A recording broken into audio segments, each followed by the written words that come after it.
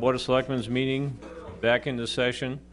Uh, We just came out of an executive session where we uh, talked about the, uh, and dealt with the police chief contract, the new police chief, and also um, uh, the manager's union uh, contract.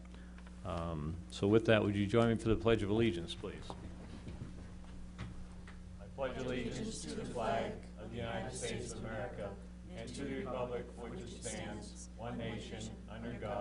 I pledge allegiance to the flag of the United States of America and to the republic for which it stands, one nation, under God, indivisible, with liberty and justice for all.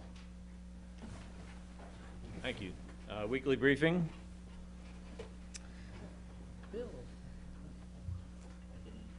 Seeing none? Oh, I'm sorry. Um, I will just comment for the, the library that I was over there Saturday, and the new carpeting looks terrific. They've got about half of it done, and it just looks outstanding. And once you look at the, if you had the opportunity to go over and see the old carpeting next to the new carpeting, boy, did it need it. But it's a terrific job, and it looks great. Chief, do you have something? I know you do. Uh, Good eve- good evening, uh, Mr. Chairman. Uh, Just real quick, uh, I thought it was important that I come in. It- It's, uh, we had two unusual situations within seven days of house fires that were, that caused significant damage uh, in both occasions. And they were both caused by grills. One was charcoal and one was uh, uh, propane. It's just the message I'm, I'm trying to get out uh, to the folks is that take, it's great that, you know, you want a grill and all, but the grills should not be up against the house. And I don't want to sound demeaning, but let's inje- inject a little common sense here. These families have lost their homes. And uh, that's a tragic thing. Thank God no one was hurt. Uh, None of the firefighters were injured. But significant damage. One will probably have to be torn down and the other thousands and thousands worth of dollars worth of damage. So I ask the folks at home to please be vigilant, have a good time, but take your- your grills and get them away from your houses. If you're on the, on the decks, get them away from the houses because twice in one week, uh, people have lost their homes. And that's, that's a terrible, terrible thing. Chief, is there a um, standard distance that you, or minimum distance that you would suggest, or people suggest, like four feet or something, or eight I- feet? I- I'm gonna say, you know, ten to twenty feet. You need to Okay. get the, your The further the think better. about you, it, they're, they, you know, it's fire. It's Right. fire in a box. And, uh, when, when uh, these Cape Cod homes have the cedar shingles, and that, both occasions, these, these were cedar shingles, and, uh, uh, the, sh- the shingles are real dry. We haven't had a lot of rain, believe it or not. Your houses do get dry. Right. Uh, but y- a considerable distance. You know, I have a small deck on the back of my house. It's a ten by ten deck. Well, the grill is on the, on the far side of the deck. Uh, So, common sense, and uh, uh, please, get these grills away from the houses. Okay, Thank thank you. you. Thank you. Anybody else on the weekly briefing? Go ahead, Ann, stand up to the mic. You have a question for the chief? Yes. Yeah, go ahead. It's okay. Does it make any difference if you have vinyl siding? Probably worse. Uh, It does, that'll burn quicker. Yeah, it melts, yeah. It's a plastic. Vinyl is plastic, and it will, it- anything, you believe it or not, yeah, shingles or vinyl, uh, it it will burn. Just keep it away from your house. It's the best thing to do. That's it. Yeah, okay. Ginger, did I see you out there? Now, you probably want to talk about carpeting. I do. Just came to give you a quick update. I'm Ginny Hewitt from Brooks Library. Um, First week of carpeting went great last week. Um, We're on to the second week, we're on the first floor. So I just wanted to stop by and remind people that might watch this on TV, that the library is closed tomorrow and Wednesday. And then we should be open on Thursday. Uh, We don't expect any issues. It's looking really nice. Good. Yep. And also, um, I want to thank the public. Last week was, was pretty disruptive with different parts of the building not being available all the time. And, um, no, no public computers, and that's hard for people. But anyway, um, people were good about it and understood. Um, and our staff has been really good about pitching in and doing all the different things. But, um, I also really want to thank Highway because, um, Link, but Sean, um, Sean Libby, the facilities manager, has had Wes Langway there pretty much full-time, and that's been extremely helpful when things come up that need to be moved. And also, that's been awesome. So thank you, and thank you, Chris, you mentioned it last week. Um, I thought about it at six fifteen and I didn't get over here, so thank you for announcing that. So, so just, uh, really two more, two days for being closed and then the public shouldn't be impacted much after that. All right, great, thank you, Yeah, Jane. thank you. All right, any other weekly briefings? Move on to public comments or announcements? Buddy? Mr. Urbano, I can only imagine what you're gonna tell us tonight. How are you, Chair- sir? Mr. Ch- fi- Today, fine. Okay. How you doing, Mr. Chairman? I'm great. I wanted to uh, give a little update on what transpired this weekend. First, let me start by saying that uh, we drove towards a selectman and administrator type of weekend where they would come to the Albro House and paint. Now, let me just step back for a second. In my mind, what I thought was I was going to get a couple of people who were going to really pretend to do a lot of work. That's, and so I was prepared for that. That's not what I got. Um, I got first on Saturday, David Spitz came and scraped his heart out. Uh, It was just incredible. And we worked about four hours. We went home, and I went, What have I done? We're never going to get done. My whole summer, every weekend, I'm going to be at the Albro House working. I've just given up my summer. Well, Sunday came along at 10 o'clock. Sally and I are there. And the first people to show were Linda Hugh, Linda Cebula and her husband Robert. And they didn't come to do a show and tell. They came to work. And I guess maybe in some ways I gave them the toughest part. I said, "Oh, why don't you just start on the porch?" Which was probably the messiest part. And you know, they got right to it and kept coming to me and asking, "What else can I do?" And beyond that, they also contributed very generously. So I can't thank them. Then, two minutes after Linda shows up, Peter shows up. And Linda, his wife, shows up. He doesn't even say hello. He starts taking his ladder off the truck, getting his little scraper out there. And, you know, if I were just five or 10 years younger, I might even be able to keep up with you, Peter. But he just went through it. It's unbelievable how much was accomplished. Anybody can go over there and look. I would say, from a scraping perspective alone, about 50% of the house is done, if not more. Um, It's amazing. Now, also, I'm going to stop right there before I go on. If you go and look at the house, it's just basically primered, so it's not complete. Give it time. It's going to look good. Because each and every person that was there, uh, including, I might add, the one person that I never thought was going to show, Mr. Chris Clark. I don't know why you didn't think he was gonna show. Because he lives so far away. He drove. I mean, Said he'd show up. You I know, mean- four hours is six hours for him. Said it'd show up. We're doing the high work. So he really, he, Chris showed up. And again, there wasn't any hello, how are you? Wasn't any playing around with the selectmen and talking. He said, okay, I'm willing to do the high parts, give me the ladder. And got up there and again, started scraping it. And then he wanted to see what it was gonna look like when his part was done. So he had to paint that to see what it would look like. So I'm truly amazed. And then, uh, who else showed up? Dana? Dana showed up, and Dana, you know, he uh, worked close to me, which is pretty dangerous because I like the paint, but about 50% of it falls on me and surrounding areas. So uh, he's meticulous. No paint on him at all that he caused. Yeah, But but I- only did an area this big. That's right. No, he was also very helpful. Anyhow, I'm, I'm rejuvenated, and we also had Dorothy's son-in-law, Yep. Mark. He came and brought scrapers, went out and got some iced tea. So when I got home, and I, you know, we stayed a long time because Sally and I sat and just watched what was done after everybody left, and went, we actually are going to get done. So uh, we're going to take a break next week, and, and also, I, I know I'm taking a lot of time, Peter, You- so throw something at me. Hurry up. Our two, okay, our two newest selectmen have also volunteered uh, to come and paint, and also they're collecting some money for us. And it's incredible. It really is. Oh, Angelo, I'm not going to, well, I can leave Angelo out. We all know Angelo likes to help in quiet.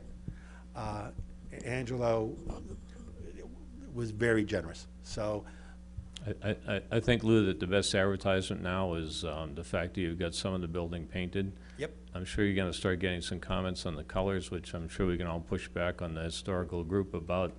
Those are the colors. I, I will, you know, it's interesting, the old Pam Black House on uh, twenty-eight in South Harwich, if you look at that color, it's almost the same, at least the, um, that mustard color, whatever, I don't know what you call it. I have a name for that color, Yeah, we but I can't say it. You know, but I think, you know, when people start seeing some progress like that, then you'll have some folks saying, hey, how do I get involved? So, well, we- it's good. we have signs coming up in the um, town hall downstairs. We have in the, ci- in the community center. And also, one more thing, I found a new fundraising effort. Uh, Anyone that has their picture in here that helps, if you want it out, it'll cost you fifty dollars. If you want your picture off the website that we're going to put the pictures on, that's a hundred dollars. So, have- has everybody seen these? No. Uh, Hopefully, can I approach? Sure. You're going to anyhow, so, It's always good to ask. you know, it's good. Yeah, You should look. Pass that around. Okay, anything else you need from us? We're going to officially, hopefully, vote Yep. to adopt your plan here pretty soon, but One, one thing, sure Peter, halfway done. on the twenty-seventh, we're not going to do any work Father's Day weekend, so please, no volunteers show up. Uh, the following week, the twenty-seventh and twenty-eighth, that's a Saturday, Sunday, between the hours of ten till two, and we might have a surprise on who's gonna help those weekend, or that weekend. So, uh, I'll wait for our next selection meeting to make. Yeah, I another- suggest you, you might put a sign on one of the doors this week, just saying, you know, you're not doing anything this weekend in case anybody shows up or walks by or something. A- And I know we all like challenges. The next challenge is to get eight to 10 people there working that are less than 50 years old, 50 and under. How's that for a challenge? It's okay. Thank you. All right. Anybody else for uh, public comment and announcements? That was quite the announcement. And thank you again for, for your efforts. We applaud them. Okay, let's move on to the consent agenda. Um, I'd like to take the, the May 11th and 18 minutes first. Yeah. Mr. Chair, I make a motion that we accept the May 11th, 2015 regular meeting and May 18th, 2015 executive session minutes. Okay, moved and seconded to accept those minutes. I'll just point out that um, uh, since Janelle and Michael weren't uh, members of the board at that point, that's why we're taking them separately. Okay? So the three of us will deal with it. I'll call for a vote. All those in favor say aye. Aye. Aye, opposed, to vote, thank you. Would you like to move the rest of the consent agenda, or what would you like to do? Someone? I didn't hear what you said. I said, would someone like to move the, the balance of the consent agenda? Mr. Chairman, I move that we accept the June 9th, 2015 interview subcommittee minutes, approve the fiscal year 16 committee reappointments, approve fiscal year 16 miscellaneous appointments, approve fiscal year 16 annual police appointments, approve the plan for volunteering painting of the Albro House, approve new common Victulars. Vic, Victular, applica- Victular, application for Scribano's Italian Market in Deli. Approve catch basin contract extension and approve vacation carryover for town administrator. Is there a second? Second? Moved and seconded to um, approve the consent agenda as read. Discussion? Angela? Just a comment on the committee reappointments. Uh, What these are, are the reappointment of people who uh, have been on committees and who wanted to stay on committees. They receive a letter and and they're asked what they would like to do. And uh, this year, uh, we reappointed everyone who uh, said they wished to be reappointed. Uh, That's it. That's Okay. what that group is. Okay, thank you. Any other discussion? Hearing none, we'll put it to a vote. All those in favor say aye. Aye. Opposed? It's unanimous, thank you. We have no public hearings or presentations, old business. Wastewater, I changed it, you'll notice I changed the uh, wastewater moment that I had advocated for to be wastewater educational moment, uh, to make it more clear that our intent is to um, provide education materials as we go forward on on wastewater. And this week, we- I asked Paula uh, Champagne to come in, our health director, um, to give us some information on what septic systems are and how they work and, and what they do or don't do to, to uh, help us with nitrogen. Um, and maybe a few other things that she has on her website. So Paula, thank you very much for coming in. Thank you for taking the time with us this evening. Thank you. Hopefully the computer will work and the screen will come up. Now, here it goes. It's getting there. Well, um, the presentation tonight may seem a little bit rudimentary to a lot of us that have been working on the committees for several years. It's always important to remember that every year we have a certain percentage of new residents in town and our visitors. And for the first time, it's probably the first time that they've ever had a septic system. So um, it's important that as we go forward on this, on this discussion that we're all going to be having the next several years, that we understand, we all um, understand a little bit more about septic systems 101, what's out in your backyard, what it does, what it doesn't do, and um, hopefully answer a few uh, questions and dispel a few myths. Uh, Septic System 101, if you live on the Cape, about 90% of us all have this, some form of this out in our backyard.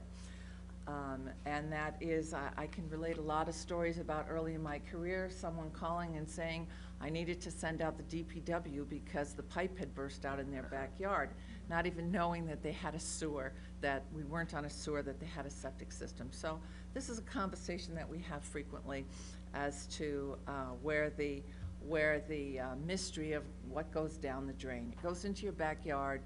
Uh, We are on our own, we have our own private utility in our backyard called a septic system. The history of septic systems, there's a history for everything. Uh, If you grew up in the city um, hundreds of years ago, the preferred method of disposal was to take the chamber pot and throw it out the uh, window into the street, into the catch basin. So if, if you've had the opportunity to travel through Europe and lovely old villages, um, we are very lucky that we weren't traveling around those same lovely cities two or three hundred years ago. The stench was unbearable. Disease uh, was a very common way of life. Um, The, the, as I say, the, the slop buckets, everything went out into the sewer. The little boy looking at what looks like some lovely pottery, there's actually a chamber pot museum. A chamber pot was a fixture in every household, and uh, those, those are not soup tureens. That is a chamber pot museum. Then, if you were lucky enough to get out of the city, uh, you had that modern convenience out in the backyard, uh, known as the outhouse. The early systems were called cesspools. It was a one-size-fits-all, um, and we actually can find historic references back to the 1400s of the first cesspools being installed.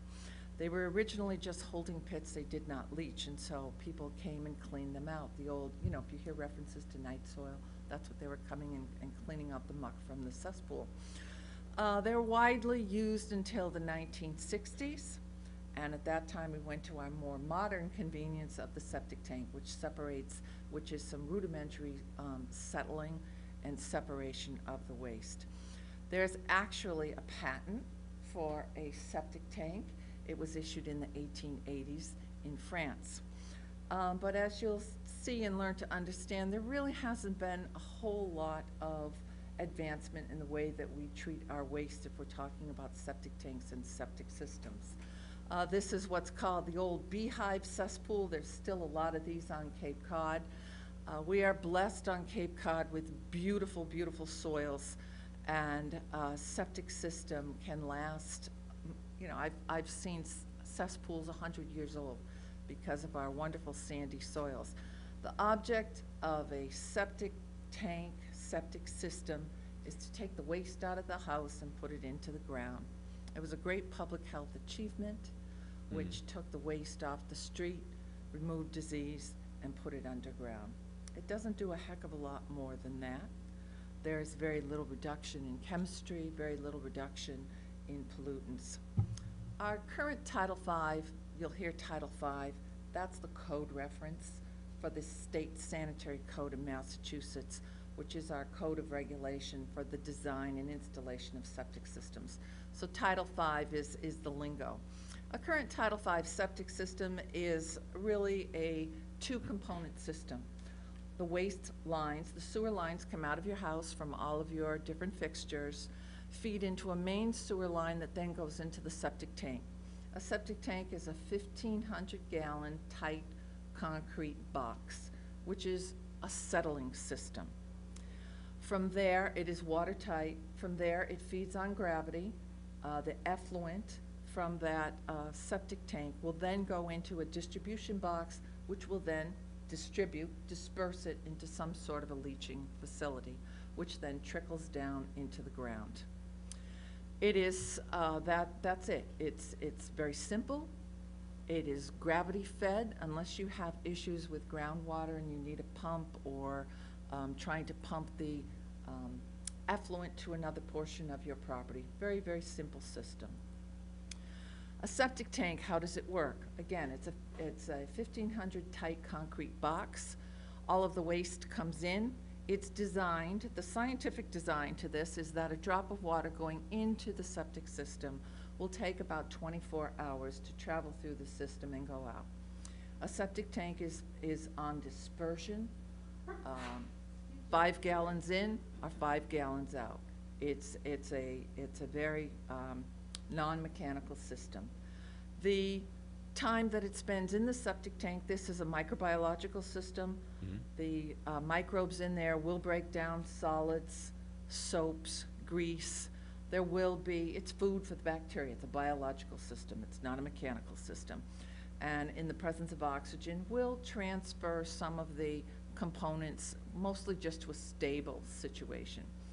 There is virtually no reduction in chemicals, um, pollutants that go in, which is why we try to train people not to put their medications, um, oils, turpentine, gasoline, things like that shouldn't go into your septic system because this is just a conduit for it to go into the groundwater.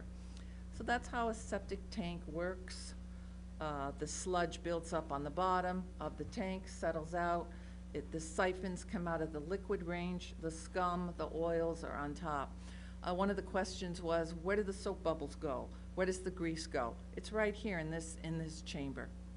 And, um, it is the, the effluent that then gets carried off to the, um, leaching facility. So Paul, just so I had that, that slide up there, people often ask the question, how often or when should I get my system pumped, or when do I need to pump it? You should pump What's your the system. indication sort of thing to them, or is there an indication to them? You should pump your system uh, every three to five years. And the pumper will tell you whether, oh, you waited too long, or what's a good cycle. Even if you, there are studies that have come out in the past year that, that, that say, oh, I didn't, the solids didn't build up, I was there weekends for ten years. Well, the solids may not have built up, but it's turned into cement, and you're going to pay more for them to come back in with the backhoe and, not the backhoe, excuse me, to pressure wash. They cannot get the solids out. It will turn very, very solid and, and, um, it's very difficult to pump the system. And- So for good maintenance, every three to five years. And how about some of these, I'll just call them chemicals or things, that- additives that people either talk about or they sell that you can supposedly put in your, you know, just dump it down the drain and something magic happens in your septic tank? Um, something magic will happen, about the only thing that we would recommend or, um, not have an issue if you are using something biologic. Some people feel as though they must add biologics to their system. It's really not necessary. There is so much bacteria going into the septic system from all of the daily uses that it usually has enough bacteria to keep it going. Okay, so it really doesn't do any good to It really dump doesn't this do any stuff. good. Uh, There are biological and enzymes that are added in commercial facilities that help to reduce the amount of, of sludge and fat and grease Yeah, buildup. It's okay. not necessary in a, in a residential situation. Thank you. And we definitely do not advocate using any of the degreasers that were Yeah. common years ago. Again, those have been shown to pollute uh, quite a bit of groundwater. Okay. Your soil absor- absorption system, most of the systems now are um, perf pipe or very shallow systems, which are high to the surface. Uh, This changed in 1995. Previous to that, most of you will have a six-foot leaching pit surrounded with stone, uh, a catch basin type system out there, uh, which, which had very, very long lives, again, in our wonderful soil. But it was found that keeping the systems higher to the ground does help with some evapotranspiration. So much of, most of your leaching facilities, again, this is a conduit to get it from the septic tank into the ground and dispersed, are these flat pipe and stone systems, or you may see some plastic chambers. So your septic system treatment features, again, it's designed for public health. I- It is an excellent feature. It was one of the vanguard moments in, in public health in history. Taking the sewage off of the sidewalk and putting it in the ground where uh, we were able to eliminate a lot of disease. It's not designed for environmental health purposes, and that's the reason why we're having problems with our estuaries and our ponds. Um, it- There's very minimal treatment, it is only primary settling. There's limited chemical removal and reduction.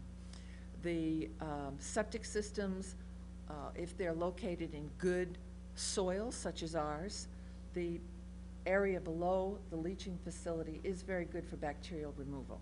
Again, a lot of your public health factors. Get the sewage off the street, it does eliminate uh, bacteria. Most bacteria, if given four or five feet of good, clean soil, most of the bacteria will be removed and a lot of the viruses. But nothing for um, chemicals. We're seeing a lot of studies in groundwater. We're seeing a lot of um, drugs, the pharmaceuticals, the endocrine disruptors showing up in our groundwater. A lot of the chlorinated hydrocarbons from the years of uh, use into our septic systems. Minimal amounts, but it's still making our way into our groundwater. Oh, just so you had that slide up there, the previous one. Sorry. Um, Would you just explain what a perc test is, so, because that's another phrase that some people probably don't know, eh, but you hear it a lot, perc test. Okay, a perc test, that is the start of needing to put in a new septic system. It's called a percolation te- test or a deep hole test. That's if you need to have a new septic system put onto your property, you make an appointment with us, your engineer. We go out and do the soil and site suitability. There is a ten-foot hole done with a backhoe, measuring the distance to groundwater, and also doing a soil stratification to make sure that there isn't any clay or peat or um, soils that will not accept a leaching facility. And what, and what's your minimum uh, distance to groundwater? The code requires five feet below the bottom of the leaching facility to the maximum adjusted groundwater. Okay, thank you. of some of the issues that we're dealing with, with wastewater issues and the need to uh, take care of are nitrogen and phosphorus coming from the septic systems. There's very, very minimal reduction in nitrogen and virtually no reduction in phosphorus. And this is what drives our uh, ecological systems. Uh, Think of nitrogen and phosphorus just as you do on your lawn, they're fertilizer. But in the environment, it is called the uh, limiting factor. It's, it's the food that makes the algae um, have a holiday. And in saltwater, it is nitrogen. Nitrogen is what sets off, what tips the balance in the ecosystem and causes algae blooms. And in our freshwater environments, it's phosphorus. That's very important to know the difference. You're not going to treat uh, nitrogen around a freshwater pond if you're having huge algae blooms, and vice versa. You need, so you need to apply the technology and the treatment uh, properly in those areas. Nitrogen removal. Ammonia, where does it come from uh, in your septic system? The nitrogen comes from ammonia, which is in the biological waste. The ammonia in the septic system is stabilized through oxygenation and is converted to nitrates. Once the, all of the ammonia is converted to nitrates, it's very stable in the environment. And again, we put this wonderful conduit so that it leaches down into our groundwater, makes its way into our groundwater, and travels with the groundwater until it immerses in another water body system. Domestic wastewater, the literature will show you that uh, coming out of uh, septic system is about 35 to 40 milligrams per liter of nitrates. A septic system, um, uh, the CDM report gave a very generous 20% reduction. That's pretty high. You usually read a lot about 10, 15%, but even so, it's still, you're still only reducing that uh, nitrogen down to somewhere in the 30 range. Um, The, our comprehensive wastewater management plan illustrates that we need to move 70 to 100% of the nitrates from septic system in our coastal embayments to return those to fresh, productive um, environments. What does that mean? What do those numbers mean when you keep hearing about all of that nitrate? Our drinking water standards, the EPA drinking water standard is 10 milligrams per liter of nitrates. If you have more than that in a, a water supply, it's unsuitable for drinking water. On the Cape, through our years and years of testing, we know that the background level, the unaffected level in our, in our aquifer is less than one part per million. So even if we start to see, if we, we're tracking water supplies and we're starting to see five, six, you know you're still below the EPA number, but you also know that you've influenced it from agriculture or septic systems, runoff, whatever. In the marine environment, less than one milligram per liter. It's, you have a very sensitive environment of what you need before you start upsetting the balance there. And that's because, um, animals, water life are living in that environment versus drinking. So the, the, um, upsetting the balance is very critical. Linda? Question. Back. If the ammonia has been stabilized and converted to nitrates, why is it still a problem? Um, it is the nitrates, which are then used by the plants, which can convert it back to nitrogen. I'm Just asking the question to make sure that as we talk about newcomers to septic systems, when you use a word like stabilization, and then why does it, why is it still a problem if you've stabilized it? So it's because the plants convert it back and then you get the, ni- Yes, yes. Um, this is from the Comprehensive Wastewater Management Plan, which just shows that they're attributing Title V systems only reduced twenty percent. You need to go all the way over to the right-hand corner for package and central treatment plants, which are effective at removing ninety percent of the nitrogen, and then they've looked at the different embayments, saying how much nitrogen they need to remove to get back to a healthy environment. Uh, there was a question about, what about composting toilets? If you're not releasing that into the environment, isn't that going to solve all of our problems? Um, some people think that we should be promoting composting toilets. I think composting toilets have a place in society. I don't think that the place, uh, according to public opinion, is in everyone's home right now. It's not really a mainstream kind of uh, technology. I'm sure we've all seen them in the, in the uh, national parks, visitor centers, etc.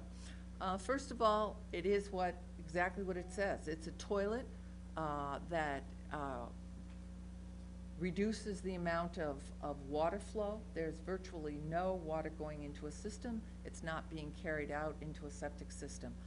Uh, This is a, a, this system requires a, a large holding tank, usually in the, in the basement, where you are composting your own waste in your home.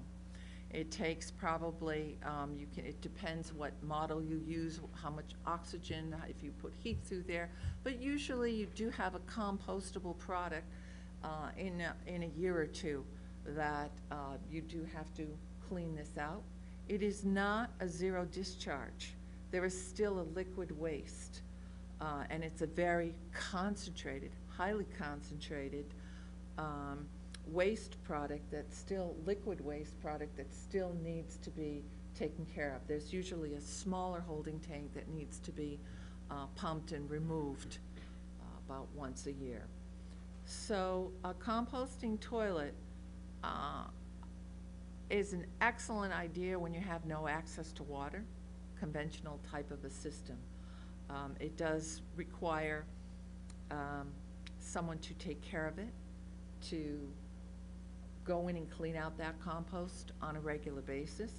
The compost itself, again, is, is usually in a form that people will use it in their, in their gardens, and, and uh, I don't recommend that it be used for vegetables, because again, if people in that household are, are taking a lot of pharmaceuticals, the pharmaceuticals will show up in the compost. Um, As far as the reduction in nitrogen, you realize that from not introducing waste into wastewater component. Paula, do you know of any of these systems in Harwich? We have, uh, I believe we have only one. One? Again, they're not caught on in the mainstream environment. They're usually a specialty. Hang on a second, if you, and if you had two or three of these in your house or whatever, toilets like this, you also need some form of septic system, um, or some kind of system for all the gray water, you know, stuff. Yes, you do. Yeah. You still have to have a conventional septic system for all of the other uh, uh, flow Right. within the house. You're allowed to do a reduction in design, but uh, you still do have to have uh, a system to handle that gray water. Okay, Linda, you had a question? How big a tank would you have to have in the basement doing the composting on your average house with a couple of toilets? and- How big It's- is that tank? It's sized according to the number of people in the house, but it is, um, you know, it, it's not a rain barrel, it's, it's larger than that. It's figure a few rain barrels, you know, it's several hundred, Like an several oil hundred tank, gallons. like an oil tank? Is it like an oil tank? Probably like That's an what I oil tank, yeah. I was the just ones trying to that get a I've seen. sizing, so like an oil tank. Yeah, at least, in the basement. Septic system maintenance, again, I'm going to refer people, if you haven't had the opportunity to go to the um, Health Department website, we do have some, a lot of information Hmm. there on, and links to the DEP. We talked about pumping three to five years. Uh, Pumping does not remove nitrates. You'll hear, well, if, let's put in a mandatory pumping system so that everyone has to pump out their system every two or three years, and that will reduce the nitrogen problem. Pumping prolongs the life of the septic system. Pumping keeps the solids and greases from going over into your leaching facility and gumming that up and shortening the life of your system. It does not improve wastewater quality. Uh, don't use chemical additives, repair plumbing leaks promptly so that you are not flooding your septic system. And again, uh, I encourage you to visit the Board of Health website. We have a lot of information, links to the DEP on septic system maintenance, other specialty areas about selling your property, if you need to have the real estate inspection, application forms, and a whole section on do you need a new septic system, how to get started, lists of engineers, how to. So um, I hope that people will use that website, give us a call, and with any of your questions, and hopefully we can refer you to proper authorities. Thank you, Paul, and I must say that um, the feedback I've gotten from the folks that are, you know, needing septic systems or had them put in and whatnot is their, their response from your department, whether it's, you know, someone doing a perc test or someone having to inspect the system, you know, before or after it's installed has been excellent, so I think you should be proud of the fact that, I mean, you and I go back years enough to know that at one time we had all these backups and things going on, and I don't mean that in the septic systems, I just mean in the, you know, getting things done and whatnot, and I think your folks are responding very rapidly to, um, you. to people's needs, so thank you very Thank much. you. Any questions from the board? Yes. Janelle? Um, you spoke about phosphorus, um, just briefly.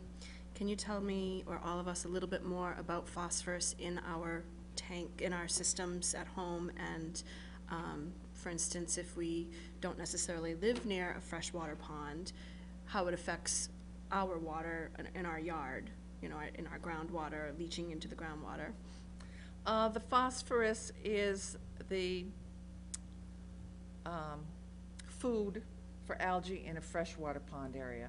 If, if you are not, and phosphorus does not tend to travel through the, um, soil as readily as nitrates.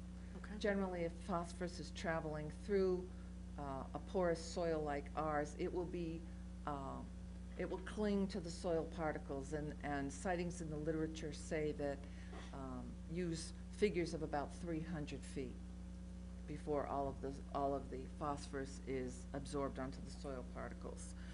Uh, So, we've had very successful programs in, in uh, the nation and in Massachusetts with removing phosphorus from laundry detergents, and then most recently, removing phosphorus from dishwashing detergents. So I think we are, we are reducing the large, a large amount, a good proportion of phosphorus that's going into the wastewater. The other thing is if you are around a pond, is to be careful about phosphorus in any of the fertilizer that you, that you are using that will run off into the, into the freshwater resource. But other than that, phosphorus is not as uh, linked to health problems the way that nitrates are. There are um, uh, not only phosphorus in the ecological, excuse me, nitrogen in the ecological environment, but nitrogen is also a serious um, health, can have serious health effects in babies. It, and that's why there are also the drinking water standards. In some parts of the country where there's a very large amount of naturally occurring nitrogens, you will have a, a disease known as um, blue baby syndrome. And uh, the nitrogen can bind up into the hemoglobin of the body and rob the body of oxygen. So the original standards for nitrogen in drinking water were based upon very serious health effects. Anybody else? Thank you very much. Thank Hopefully, everybody found this worthwhile, so. That was very good. Okay, moving on, on the old business, uh, selectmen's, should say roles and responsibilities, I guess, instead of rules and responsibilities. Linda, you asked for a continued discussion of this, so Oh, um, yes, last week we had really focused on the Board of Selectmen not directing, individual selectmen not directing the town administrator. And I thought I'd just like to comment on the other end of the heap, which is, as selectmen, we have to be careful that we don't allow the employees, if they talk to us, to then move us in a direction of directing the town administrator. That, to make sure that if somebody is talking to us, to make sure that we direct them to their supervisor or to the town administrator. So I just wanted to get both sides sort of talked about. Okay, anything else? Thank you. And thank you, Mr. Chair, That's for okay? putting that Oh, on. you're welcome. You're welcome. Again, I just reiterate for the board, if there's a topic you want, you know, you want the chairman to put on the agenda, get it to me before, like Wednesday. Actually, we're gonna be doing agendas Wednesday mornings, um, starting next week, because we have a, a week off, but uh, if you can get them to me before then, and uh, whatever you can provide for uh, backup material, that'd be helpful, just so the board can read it and digest it before they come to the meeting. Okay, next, uh, the long-awaited uh, Selectmen's FY sixteen goals and objectives. Um, We've been collecting those from, from you folks the last couple of weeks, and I, hopefully everybody has the consolidated um, FY sixteen goals and objectives worksheet. Uh, What I did was take the goals and objectives everybody sent me, and I put them into a couple of categories, just to try and get our thoughts organized. Uh, And I'll just, for those in the audience, I'll explain, one is information technology, one is the middle school repurpose, uh, one is wastewater, one is uh, Monomoy Regional School District, uh, one category is town buildings, one is financial, and one is administrative, and another is economic development. Um, What I would like to do this evening, if we could, is walk through these um, sort of briefly and see if there's any way to combine some within a group. Uh, And maybe we'll all take assignments to, uh, to develop in the next week. Um, Say a consolidated one. For the middle school, for instance, I would like to come up with one, if we can, consolidated uh, goal and objective um, that we can all agree upon, you know, going forward. So let's first start off by the information technology, and let me just run through some of these. Uh, An IT overview along with providing all town employees and committees, town email addresses, and assistance setting up as needed to enhance communication between town employees and the public. Um, Next one, all committees and individual Board of Selectmen will be provided with town email address. These will be posted on town website, and all would transition to using these addresses. Enhance communications between committees and residents. Uh, Request that all permitting departments implement the electronic online permitting within the next three months. Implement and expand online permitting to the public. Those two obviously are together. Request that appropriate town personnel develop the plan and upgrade the system used for remote participation at BOS and other meetings so it's easier to use and keeps both the TV audience and people sitting in the meeting room engaged uh, with remote participation. The goal would be to have the system in place by 2000, or 12/1/15. On that one, we, a couple of years ago, adopted um, at least to the Board of Selectmen, um, uh, the concept of remote participation. I think it mainly started with me because I was, I remember sitting in Nanjing, China once for a meeting that lasted three hours, and um, I was sitting in my jammies because it was 12 hour, I was just waking up. It was uh, seven in the morning or something, and you folks were all here, and we did that. The problem is, you can do that, and you can have a screen here, you can have your phone, but nobody out there knows what's going on, and it's kind of hard when other members are talking for the person sitting on the phone on the other end to hear you. So I don't know if we can make that better. We ought to figure out how we do. We ought to figure out how other people do it, because somebody else might do it, must do it. And the reason we were driving for that was that it's hard enough to get folks to, to volunteer for boards and committees. We do get some folks that, for instance, go to Florida for, you know, a month or two months or something in the winter, or people have to occasionally travel, and they would like to stay in communication or be part of their board or committee. Uh, and sometimes there are important votes that need to happen, uh, that you obviously need to have a quorum for. Um, so we need to improve upon that. I'm not sure that's, you know, it might just be something we put as a to-do, um, rather than a goal and objective, but let's just keep that in mind. The two before that have to do with this wonderful thing called e-permitting, which the county promised us would be available and, you know, would all be living off of by this time, or a long time ago, I guess. And I, I think I would just ask Chris, maybe what we do there is just get someone to give us an update on where we are with e-permitting, and maybe someone from the county, uh, to tell us what's going on. I think, didn't they use Yarmouth as the test bed, if you will? Yeah, actually, I think it's uh, Yarmouth and Chatham that are both done. Uh, When you look at those two communities, though, they, they kind of accepted a, a little bit of a a boilerplate, so they didn't do a lot of customization. I, I think here, just for the board's uh, information, in, in terms of thinking about things for a timeline, uh, this system went live for the in-house users uh, around town meeting week. I think that just especially kind of getting a better sense for how the workflow happens upstairs, I mean, there's probably going to be six months to a year before we see that being able to be extended out.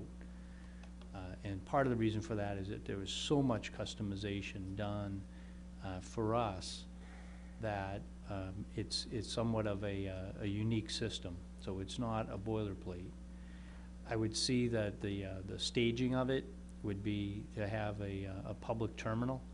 So people that are familiar with the process could come in and do some public access to it. And then we would be able to do that as also kind of a test marketing to see what we need to do to, to fix it. Uh, and then send that out to the, uh, general public.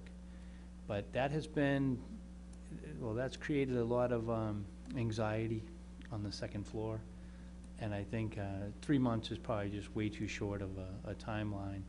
But I think that if we had the, the kind of a phased implementation, make sure our users are good first, have a public access for people that fill out several permits during the course of a week, have them kind of test market it for us, then I think we'll be in a better position to roll it out. So I think it is something that's very doable, but I would suggest kind of doing it more in, in that kind of mindset of, Okay, so let me just ask the question, because I think I'm hearing amongst your staff, it's one of the goals you have going forward for the coming year. Or is it us was, uh, pushing you to do it? It was a board goal, uh, whether it was official or unofficial, so I I have been continuing to push to get that accomplished. Okay, so, so maybe what we do here is we ask you to come back with a, a timetable or a plan, you know, that just, um, that we can say then in September, well, did this get done or that get done, or that type of thing. Angelo? Uh, I just ask that you uh, gather up a half dozen or a dozen people who would normally use the permitting in their businesses, bring them in, let them see what you have, and get their ideas and how well they can work with it. Uh, I bring that up because when the, in- at the county level, when it was first presented, they had not done it, and, and they thought that what they were giving their customers was terrific, and it turned out a lot of the people who were going to turn in permits couldn't deal with it or didn't like it or had problems. So that may shortcut some long-term issues. Yeah, that's the exact idea, find five or six users, bring them in, have them go through, they're familiar with them already, so they'll be good. Uh, it's the, it's the resident that wants to do something for the first time, that's really gonna struggle if we don't do the test marketing first. Okay, anything else on that one? The, um, ahead. it's, it, it keeps being brought up about live broadcasting our meetings rather than tape them. Is that something that, uh, would just fall into the IT re- o- overview? I'm gonna get to that in a minute. Okay. If you, Yep. just hold that, hold Yep. that ammunition for a minute, okay. Uh, the thing about all town employees and committee town email addresses, I assume that's something that, that's easy to do, Yeah, isn't we it? already do that. Uh, The only thing I would think is, we just need to make sure we keep up to date, you know, to make sure, but when a new employee comes on, they're issued their, their email address. Yeah. Whether we have it on the website accurately and the ability to interconnect, Yeah, one, something one of we the need to problems is, for instance, I have, most of us, I think we all do now, have a, a uh, town email address. Quite frankly, I don't use mine, but I don't that's, either. that's another topic.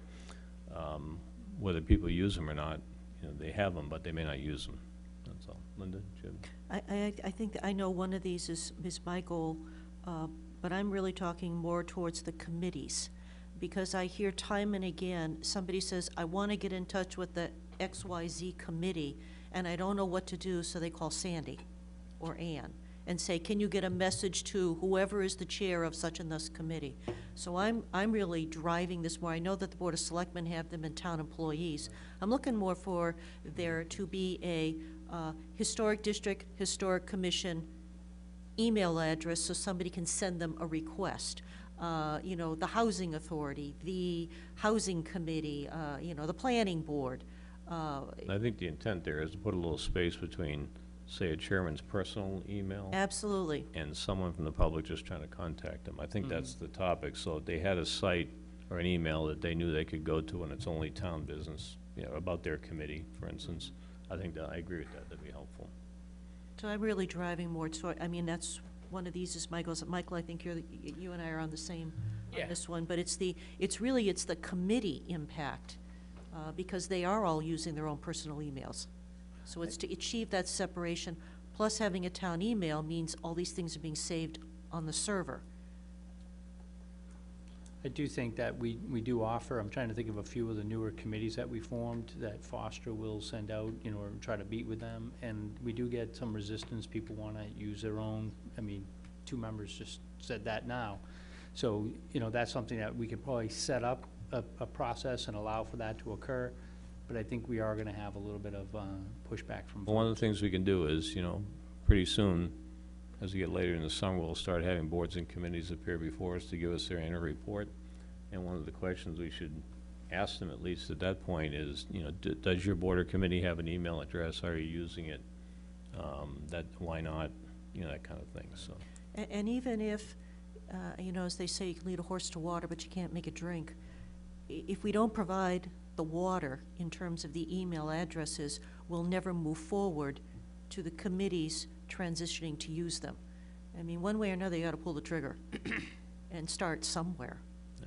Yeah, and I would, I would think that the, the entire operation should use Harwich email addresses. I mean, I Agreed. think, I think the Board of Selectmen, town administrator, support staff, uh, departments, I mean, I think that this is, it's town business, we should, we should be using town email addresses.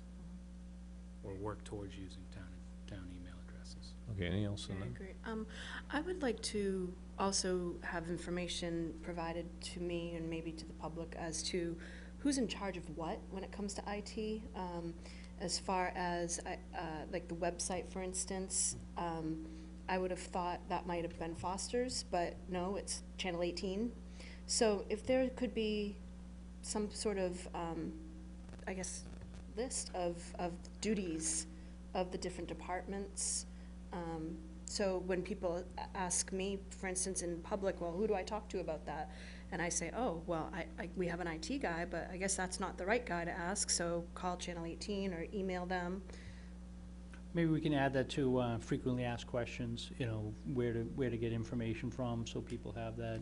I think on the new website, which I think we're gonna do a presentation on the Twenty-nine, twenty-ninth, yeah, to kinda twenty-ninth, we're show. doing that, yeah. There's a, um, what do we call it, a fast track or something, where if you have a, a question, you can go to that, with the idea of kind of driving it.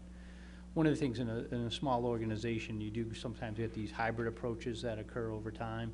Uh, so Foster, uh, the IT director, I think did a lot of this. We happen to have some pretty good talent on our Channel eighteen, so we've now integrated that talent into it. So sometimes things evolve over time. But to your point, we can make sure that we put something better on the website, so if people have information that they want to get it to us. And we would encourage people to use the, the website as it is Oh, now. Sure, to- yep. And it's only gonna evolve over time. I mean, we had a discussion a couple weeks ago that, you know, it's sort of brand new. And, um, I think we've done a good job of getting some initial feedback and, and some things, you know, links and whatnot, uh, cleaned up and whatnot. The other topic, which I think, Michael, you're gonna start on, was, uh, there, there has been some interest lately, I'll just say, on, on uh, what it would take, uh, to make this broadcast live, for instance, and maybe, you know, some of the other meetings and whatnot, uh, live broadcasts and whatnot. I think it's a little unfair just to put Channel 18 people on the spot with that, but I would, I'd like to have them at least think about what that means and get back and give us some information on, you know, what kind of equipment would be needed, if anything, what kind of people it would take, what kind of training it would take, how you'd roll it out, et cetera, so. And by the way, you know, it costs money at some point in time. Yeah, I, I do, uh, I, I don't, you know, I, I guess I have to do a better job of trying to articulate all the different things that we do. But I hope people realize in the last year, we redid the website in total, and we did that in about six months. The fiber, uh, actually, the head end for the fiber comes into the community center. The town had installed a conduit that first, well, I don't really quite understand why, but they put it through the, the, mid- the high school site, mm-hmm. and during the construction, the conduit got damaged. We approached the board, we got the, we got a board approval to, to pay funds out of the cable fund to improve that. So that's been fixed. Now we have to take the next step, which is actually doing a fiber connection. So we are actually looking at doing the fiber connection. At the same time, we're looking at doing the fiber connection, though. Well, Actually, we had our meeting over in Chatham not that long ago, and we are thinking about the concept of how do we do a setup where we have maybe the small meeting room next to us, have cable set up in there. If you noticed the other day, I, I think Mike and, and uh, Angelo, Mike, and uh, Peter were at that meeting. One of the town employees went over, hit the button, and he started to, to tape the meeting, Yeah. just automatic, you know, one person doing it. I think if we can get to that point for some of the rooms, then we'll be able to broadcast more meetings. But a lot of these discussions do occur behind the scenes, but there, there's a lot going on in this organization, so we are kind of continuing to progress, but things evolve sometimes in, in a slower fashion. Part of that, I think, is good, because we don't want to just hurry up and do something quick, just to have to redo it later. So we are trying to be a little bit methodical. So, so may- There has been a lot done. Yeah, so maybe here we look for is, I just call it an IT plan for the coming year and beyond. And, you know, part of it is, a couple of months ago, I remember we, we basically authorized, was a hundred thousand dollars for the. Fifty thousand for the school, too. Oh, Chatham School did their. studio. Yeah, Yeah, yeah, hundred yeah, for fifty from Chatham as Yeah, well. yeah, and people, I think people look at that and say, well, you're giving that money away, how come you're not doing it here, you know what I mean? Uh, as far as upgrading our stuff. There is a cost associated with all this, and we need to understand, you know, what it costs, when it could be done, how we might fund it, you know, maybe it's something that we need to put an article together for next spring or something, and say, you know, we need to do something, but let's find out what it is. And also, let's find out what people really want. Right. I mean, the other thing is, we have a, a new, a new station director that's been here for a year and a half. So. It's a long time. You know, I mean, She's laughing out there. it, it's a work in process. I would just kind of caution the board, I mean, I, I realize we're going through this. I mean, the, the work schedule that, that would be laid out to try to accomplish, and you have eight areas that you're, you're looking at. I would encourage the board that, you know, we have to prioritize if we're ever gonna be able to get things done, to, to maybe one in each area, if that's what the board wants, or I think eight to nine is what we did before. Uh, so, yeah, because if we try to do too much, I mean, it's just, and then life happens and things happen, we're not gonna get a lot done. We understand. Right. Yep, okay. Lou, did you have a comment? One quick comment, please, can we have Janelle and Michael first switch their nameplates? I hate getting them confused in front. Yeah, yeah, oh, it's horrible. Uh, In terms of looking at things like, that's much better. Well, I- You feel you were better now? I don't confused. know. I And was you were confused. Yeah, Like a new I'm- person. but I'm Why don't you- confused easily. For- From now on, please point that out at the beginning of the meeting. I'll try, I'll try. Uh, In terms of looking at things, uh, in terms of technology, and perhaps uh, having the meetings broadcast live, I'm hundred percent in for it. I love the idea. And then I thought, why do I love the idea? and I couldn't come up with an answer for myself. So perhaps we ought to also look, as we look at different projects, what is going to be the impact? How many more people are going to be watching even the selectmen's meeting, which we think is very important, because it's live versus watching it the next day? And we're going to spend time, energy, and effort. Are we going to get five more people to watch it? Ten? Zero? So we need to also look at that impact beforehand. So if I may, thank you.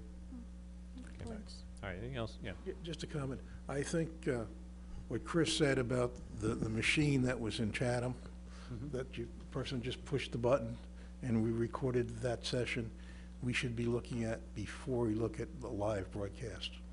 Uh, Because there are a lot of committees that I think uh, would benefit by having their meetings broadcast. And if, or as, as simple as pushing a button, uh, I think that would be Might do it, terrific. yeah.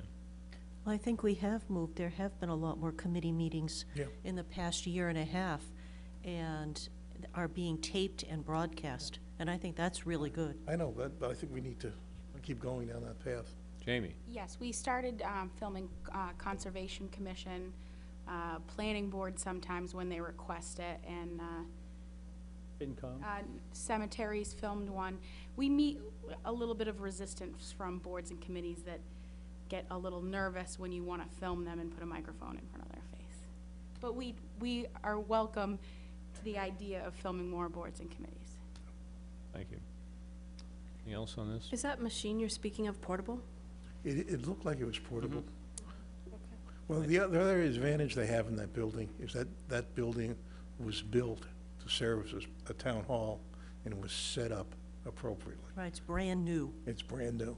Yeah, So just it's- be, on, on the portable concept, uh, just thinking about it, the, the cameras that were up were all stationary cameras. So it's not one, we'd have to set up each room and then have that unit to be able to do it. That's the problem. So there's a with little our bit of, rooms. yeah, I'd still opt for a live broadcast over that then, um, because I think that, to answer Mr. Urbano's question, I think that many more people would watch the meetings, um, if they were live, because they're at night, whereas when they are rebroadcast, it's at ten in the morning the next day, and then at dinner time. So I do think that maybe we need to weigh the, weigh the two things of either re- having the portable device to record or having live options, at least for the selectmen's meetings. I think they also stream, you can just dial them up, and you on can just, demand. uh, you know, on demand, so you're not just ten o'clock, you, you don't have your two slots, you can actually just go in and say, gee, it's three AM in the morning, I'd like to I've never Listen been to the- able to do that unless it's on YouTube. May- Maybe part of your demonstration, when you do the website, we should show people how to do that. that. You add that in there? Thank you. At one time, they were doing, you were doing a seven o'clock or an evening, for- are you still doing that? Yeah, it airs, it'll air tomorrow at ten and seven, So it does air at night. Wednesday, ten and seven. and then you can stream Yeah. on demand. Okay. Ann?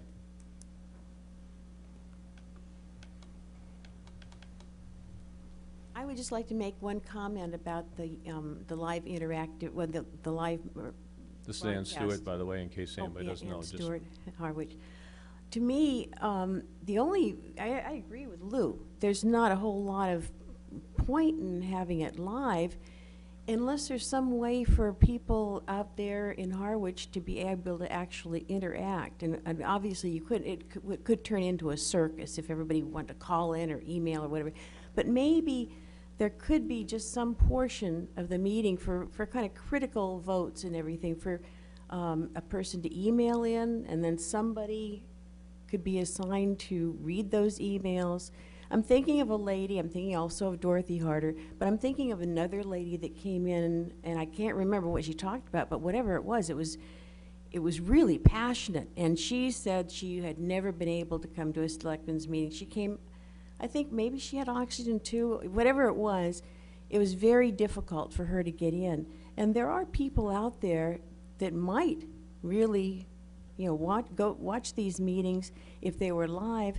If there was some way that they could have their comment, again, it would have to be regulated in such a way that it didn't turn into a zoo, you know, like, like WXTK's Free for All Friday.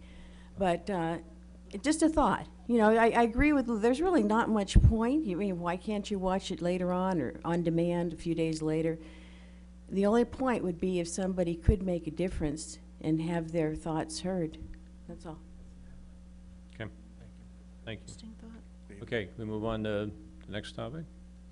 It'll be the middle school, and I think here that uh, everybody wants to get a resolution to it somehow, some way. Um, My comment, I guess there's several ways to think about doing it. And uh, I know, Michael, you, you've been an advocate of getting some, prof- I'll just call it outside professional help to do, to do some uh, cost estimates and whatnot. Uh, My question there is, uh, where would those funds come from, other than going to, for an article or something at, at town meeting? Because I don't think those funds are slotted at this point in time to do that. So one approach is that we, we, whoever we is, works on the three alternates or whatever you want to call it, or options, put some more meat on the bone as, as best they can, but then we figure out if we needed to, in article time, to, to, okay, what would it take to get an outside consulting firm to, to do a specific scope of work and give us a bid, you know, price to do it? I'm making this up. If it was twenty thousand dollars, we take it to town meeting and, you know, see if it gets voted, and, uh, it's either, you know, gets done part of the budget at that point, or gets part, you know, gets done as a, um, uh, capital exclusion or free cash, whatever it is, but then we move to the next step after that. Um, short of that, I think it almost has to be in-house talent for the next year, um, unless somebody's gonna volunteer from the outside to help us, so that's my only caveat there, but I, and I think we all agree we need to put more stuff on it, you know? What it looks like, what it smells like, and I don't mean that facetiously, I mean, we just have to know more about it. So, Angelo? I think we have to use currently available data or any information that somebody would like to provide as a volunteer or part of the team. Um, It, it's kind of like when the the waterways were looking at Saquatucket. They had, they had to lay, get it laid out generally, understand sort of what they wanted. And then when they got it to a situation where everybody was kind of in agreement, then they had to come up with five hundred thousand dollars, I believe, maybe a little less than that, to do the real design that would go out to bid. So I think we're at the stage where there are three or four directions that are possible. I think we need to uh, pro- provide as much information as we can on each of those directions, and then uh, provide that information uh, to the public, get their input, and then make a determination of which one of those activities th- the, the public wants to go into. I can almost see at some point, sounds a little crazy, I don't think we've done this before, but almost a ballot question that says pick one. I don't- I don't know.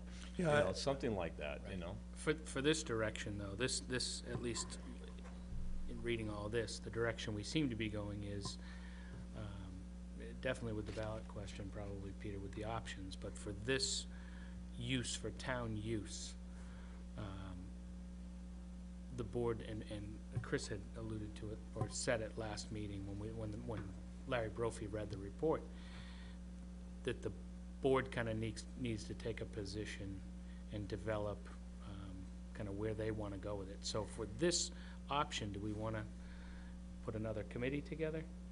Do we want to, do we want to use um, Larry Brophy and in-house people, the chairman and in-house people? There's a, there's another resident that wrote in, um, Mar- uh, her name is Marna Bate. She was part of, I, I think, um, using the, the current community center, putting together some of the information on that. She was interested in, in kind of developing a plan, or helping to de- develop a plan for use. I think we need to figure out, it's been mentioned that the building's not ADA compliant, then it's been mentioned that at least a good portion of it's ADA compliant. Um, So, in laying out the building and laying out the uses, we should probably have some people on a committee to kind of determine what spaces are gonna be I'm used. kind of, excuse me for a second, I'm kind of looking towards Angelo as the liaison to that committee, to sit at least with the current chairman and come back with some suggestion as to how to move forward, whether it's that committee expanded or contracted or reconstituted or not. Yep. I know this board has enough to do without getting into, you know, the ceiling's gotta be fixed at twenty dollars or something, you know, that somebody out there should be focusing on that. Well, I I think uh, you need, we need somebody, and he has to have access through Chris to department personnel who can check out the various ADA and other requirements. And we need to have a piece of paper that says, here are the three, three possibilities for whatever it is. Uh, This would provide this to the public, whatever that, that is. Uh, Then this will cost in the order of magnitude of this to this, and will take so much time. And, and then I think the uh, public can make a judgment on what they want, because that's really what, what, what we're after. Uh, I think if you, if you don't have a rough idea of the cost, a rough idea of the benefits, you know, you start picking things like, you know, we could do a bowling alley and, and maybe, uh, oh, grow lobsters in there or something. I mean, it just starts to get silly, so I. You have to and I- narrow, it- you have to narrow it and, and Peter? come up with some uses for it, no doubt about it. A- And I, I do know that in speaking with Larry Brophy, he is going to do a presentation. He- I thought he had already asked on the 29th on uh, the three or four topics that had been explored and provide a little bit more information. And then that committee dissolves, basically, uh, two or three days later than that. And then give us a little time, and I'd like to work with Michael, if if it'd be all right with you, Sure. to try to put this te- together and- and move it along. Can, can, oh, go ahead, Linda. Just a question, um, I know that, uh, you know, we've, we've before periodically talked about a ballot question. And if we could ask Chris to explore with, uh, town counsel and whomever else, how can we phrase a ballot question that says, uh, I would like to build this, that, or the other thing, and be able to check a box off, but have them all in the same ballot question. And I don't know if that gets forced into a non-binding ballot question in order to make it legal, or what, because if you look at our ballot questions, they all say, do you want to do this, yes or no? It's not, do you want to do this or that or the other thing, yes or no? It's, it's a very specific up or down. So I don't know how legally that ballot request could be written so that people could make that kind of choice. You know, the, the, the challenge, I think, is that every year we could take a new thing we wanna do with it to town meeting and get it turned down and turned down and turned down, and when do you finally get one that they say yes? If you look at some of the other schools around the state that have been, I'll say abandoned, for lack of anything else, some of them end up sitting there for ten and twelve Decades. years before, you know, s- Do that. the community finally gets so tired of it, they do something, whatever something is. And it's just hard to get, um, get consensus. Um, So I think there's gotta be a way to say, do you want A, B, or C? And by the way, the details are, along the way, it costs this much, and you get this benefit, and this much, and that, that, blah, so. One, one additional thing, I think uh, we do need the carrying costs for that school right now. You know, you mentioned the- the septic system in this and whatnot, so, so we know what that is. So, so Angelo, could I just, I'm gonna put you on the spot. Can we get you to draft one giant middle school repurpose goal and objective here? Would you be willing to, well, you can work with Michael, sure. Yeah, we'll You can get Work it with anybody you want, but Yeah, will you sure. take that on? Peter, I have one thing. Yep. So, um, c- actually, two things. We know that the middle school repurpose committee from this past year gave three uh, recommendations with uh, weight, first, second, and third. Um, So coming up with something, Angelo and Michael, they're gonna have to take one of those three positions is what I'm hearing you. No, No? No, we're gonna take all three I think you leave those three. on take the- all three positions. Okay. Because those three positions have no cost involved, they have no benefits laid out, and you can't say exactly what anybody's doing. I, I do request one thing, I would like to turn in that statement you want after Larry presents, Well, that's fine. okay? So it'll be in, And then my second thing is, um, I want to point out for the public that the middle school is being used by, um, the rec department and community center overflow. Um, and that I think it's very important, especially after this summer, when the rec department is going to be utilizing it probably a- almost on a daily basis, if not at the majority of the week, that we really look at that. Um, Their summer camp program has expanded, and they are going to be bringing children over there to use the facilities. And I think that's wonderful for the town. I think it's great that um, the kids will have a place to go, that, you know, will not be limiting them. Um, So I, I do think it's very important that we as a board not make any kind of major decisions until at least after the summer, and we see how we are ut- utilizing that space that we're paying for anyway. Th- This is gonna take at least till next town meeting to get something sorted out, trust me, it just will. Linda. It sounded like maybe, Barbara Ann, I'm gonna get you in a second, don't worry. Linda. Um, it- By the way, we only got seventeen more to go, so. I, I understand. Hey, you're the one who asked for this conversation. I conversation. know, I did, sorry. Uh, Could we have, Chris, a, an actual report in writing as to who, what, when, where, how often during the week that middle school property is currently being used? I think there's been an awful lot of conversation, oh, we're using it here, we're using it there, they're sort of gonna do this, they're, I have no clue who is over there, when or where. I mean, if somebody is over there, if we're using the middle school means somebody is playing petanque twice a week for an hour, that's not use. You're saying you want the schedule. I want the schedule, I'd like it in Okay. black and white, what is the schedule, what are we looking at, so that we can at least have an idea of what we're talking about, rather than having it be uh, tossing around anecdotal. Yeah, no, that, that, I think that's fair, and, and just administratively, what's been done is Sean Libby is responsible for continuing to maintain it. Mm-hmm. He, he heats it only at fifty degrees to prevent the building from deteriorating, so his primary job is just to kind of prevent the building from getting any worse. Then, actually, both Carolyn and Eric have been charged that if they do, as described, have overflow projects and they need it, they're not to do anything for any long term. This is just really a, a way to protect the building until the town makes a final decision as to what direction it wants to go in. So I don't know if we, I guess we have them sign up to, to rent the room so we can get the signups to give some kind of sense. But, you know, I, I think it's probably safe to say, I mean, only probably about ten percent of the building is being used. I mean, the- it, it's not, it's not a, you know, heavy use. Well, that's what I'm trying to get through, because, you know, Janelle is making the statement that there's all this use over there, and I'm hearing that too, but then I hear a statement like, only ten percent of the building is getting used on some basis. So I'd like to know the black and white of it, and, and not all the fuzzy. You know, if we can just get the schedule, how has it been used, how is it planning on being used for this summer? Because this is really, it's too nebulous for me. I, I would suggest, and, and I, I kind of made this comment since I, I've been involved in, in trying to do things with town buildings, that I really think it's exceptionally important to focus on what is gonna be an acceptable use. Have Larry Brophy come in, look at the, look at the three.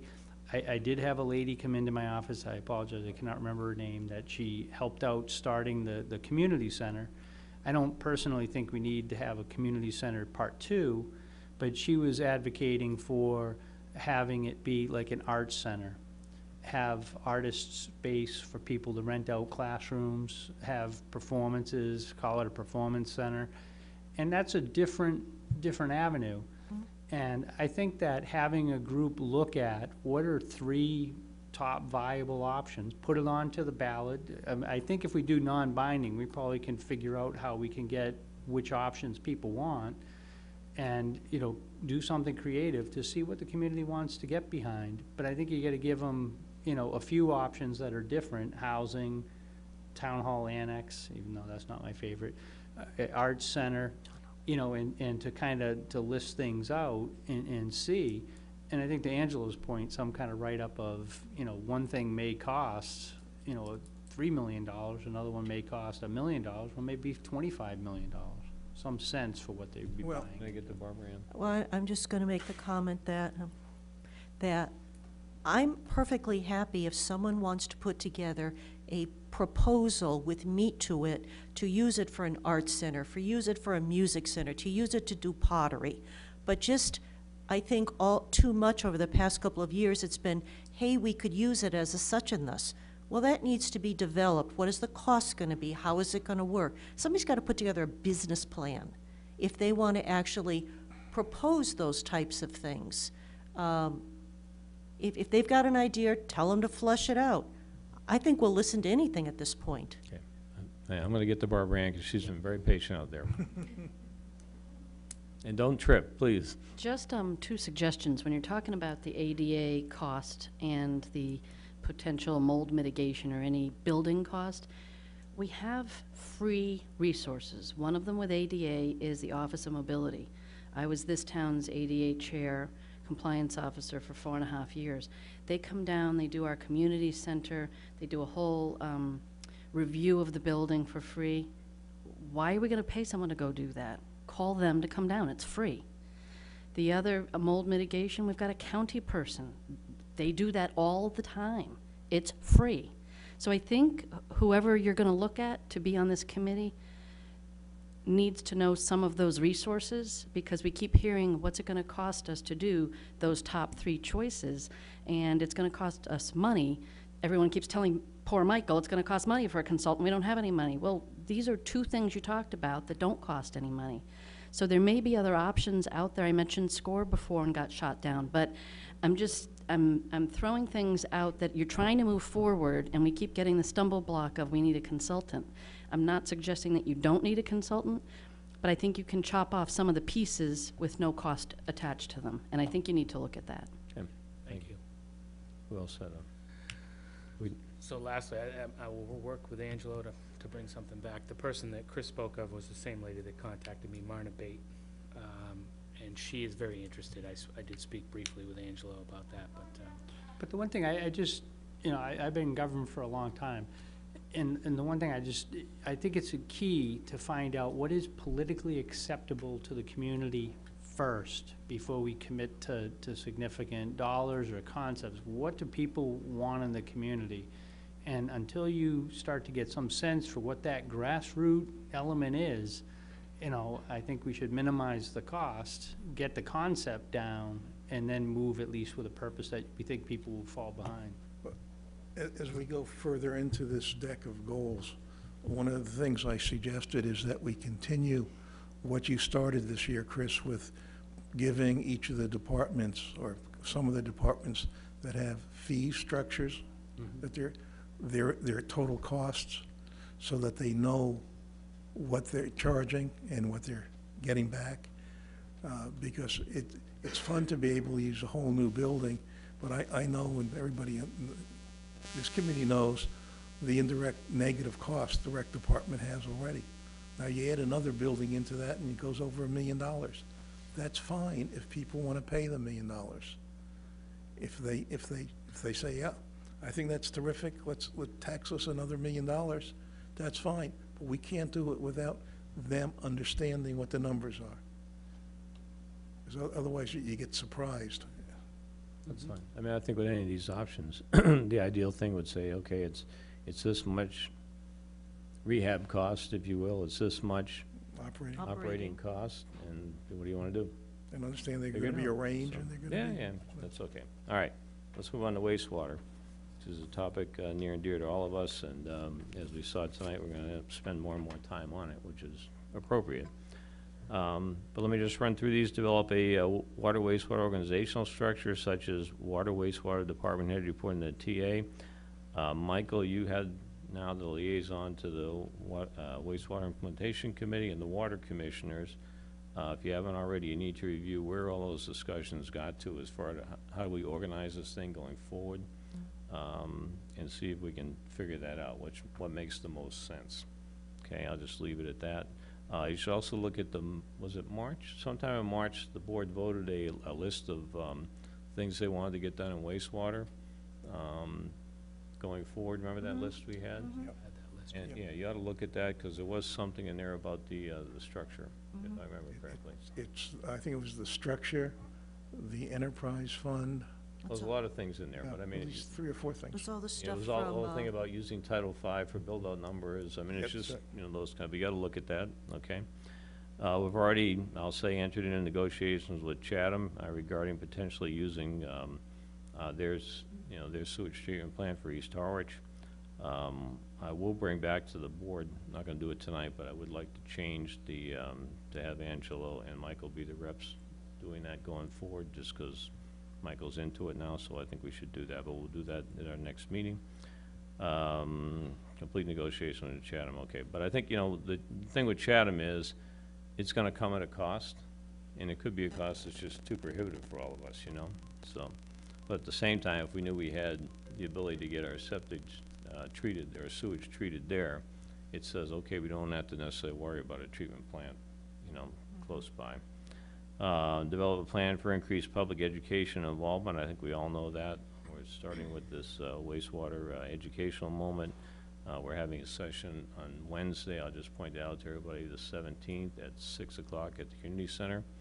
Um, that is, part of that meeting is a public hearing for us to address, um, um, the mechanisms by which we would recover the costs going forward on wastewater, but we're gonna take the front end of the meeting, uh, with the, um, um, the wastewater implementation committee, uh, doing a, a presentation just to get people up to speed on, uh, what's been going on with wastewater, if you will.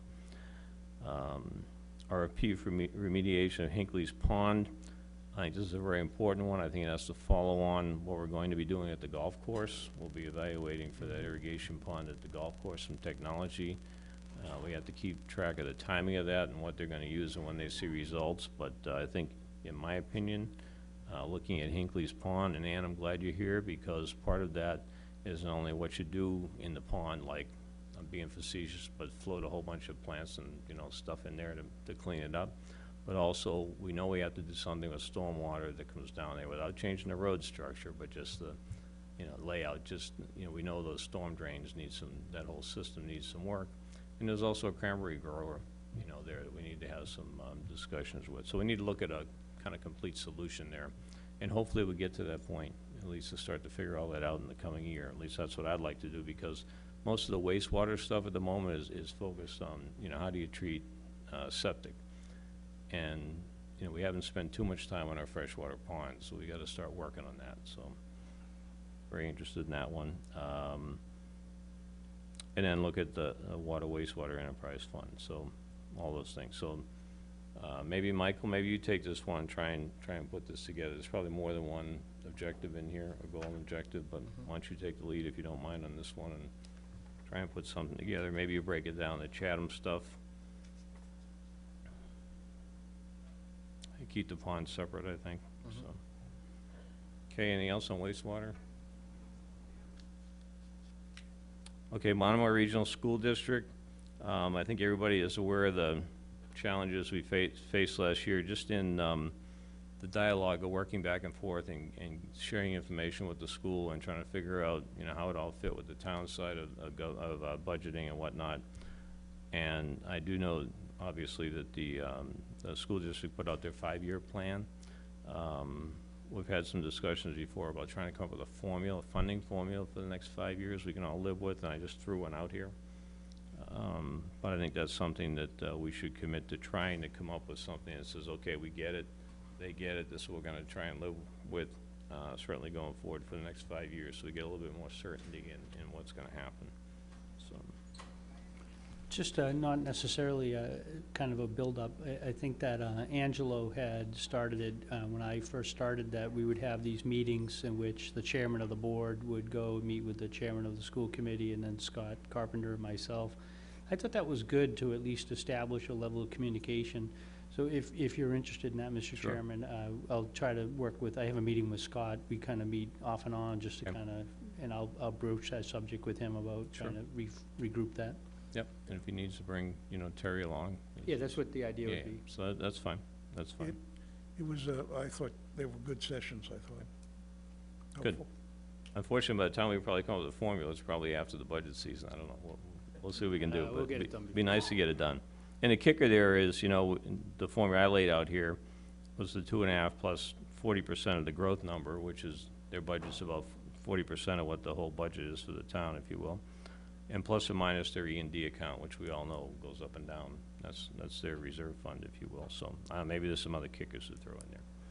Okay, town buildings, um, I think, I, I sense some frustration in the last couple of months about where we are with, um, assessment on town buildings and whatnot, and I guess my suggestion there is, uh, Chris, uh, we probably get Sean and Lincoln here at some point, just to talk about buildings and what needs to be done and what their plans are, and we probably don't hear enough from them. Um, You know, that type of thing. That's something that's doable. Yeah, I, I think uh, when this was made a uh, priority for this past year, you know, I had asked to, to try to focus on certain ones. So I think I would ask the same thing, that to do a broad scale of all town inventory is probably beyond our means. Uh, But if we could focus on a couple to, to try to knock off, um, I think that may be a, uh, a good approach. I mean, I would even put uh, the West Harwich School, uh, since we have a, an interest group that's interested in that, maybe put that on the list. Uh, Hopefully, Albro House can kind of be, a lot of progress I thought had been made on that. And then uh, maybe the Bank Street property as, you know, redevelopment possibilities. But to try to focus on a a couple so we can do that, I, I think a total townwide inventory and all the needs, um, you know, we get a guy that doesn't have any clerical support at all, and I just think that's a a humongous task to give somebody without the, really the tools to be successful at it. Link's gonna give us the answer. How are you, sir? Thank you, Mr. Chair. You say, sir, I look behind me for my father. Um, Sir? Sean Libby's done a wonderful job. Um, He I has, don't we think never there's- see him. Well, uh, he's out working too much. I know, we wanna see him once in a while. Um, I want to point out that he was the first step in this process. Okay? There's another step that we were close to making and consolidating some budget money that's laying around. More importantly, we need some predictable cash flows. We, we, I envision coming back and suggesting an article that puts something like, maybe not in the scope that Brewster did, but a million, two million dollars, something out for some cash flows to then to be able to prioritize the maintenance and actually follow through with those maintenance. When he first came on board, he put a, li- he put a, uh, quite a list together, and I don't recall what the numbers were, but that was floated am- amongst everyone. But Sean was the first step. It was a great step. I understand. We need some cash flows, and you still need some people. Yep. Now, he's had, he's been here how long now? Um, started with the administrator, I believe, year and a half. Yeah, okay, So A so, month before me. so maybe in the next couple of months, you know, you two can come in and talk to us. He's been here long enough, I'm sure he knows every building inside and out, and, you know, if we had a discussion even about Albro House, he can say, oh, yeah, I know you need to do this, you gotta do that, you know, that kind of thing, so. I mean, it, it, it, to me, it's basic stuff like, you know, we finished painting the outside of this thing, hopefully this summer. You know, I'm starting to ask questions, oh, do we need this garage thing here? It's not exactly an antique. Um, Not when it's got T-111 siding on the back side of it, you know, but I mean, does anybody, is anybody really gonna use it or not? Would it be better off as a parking space? I have no idea. Nor do I, Mr. Chair. Yeah, We can give you some direction on that. Linda? And I also think that, if I remember correctly, part of having, uh, hiring Mr. Libby as this uh, maintenance project supervisor was that we were going to get that kind of assessment on buildings.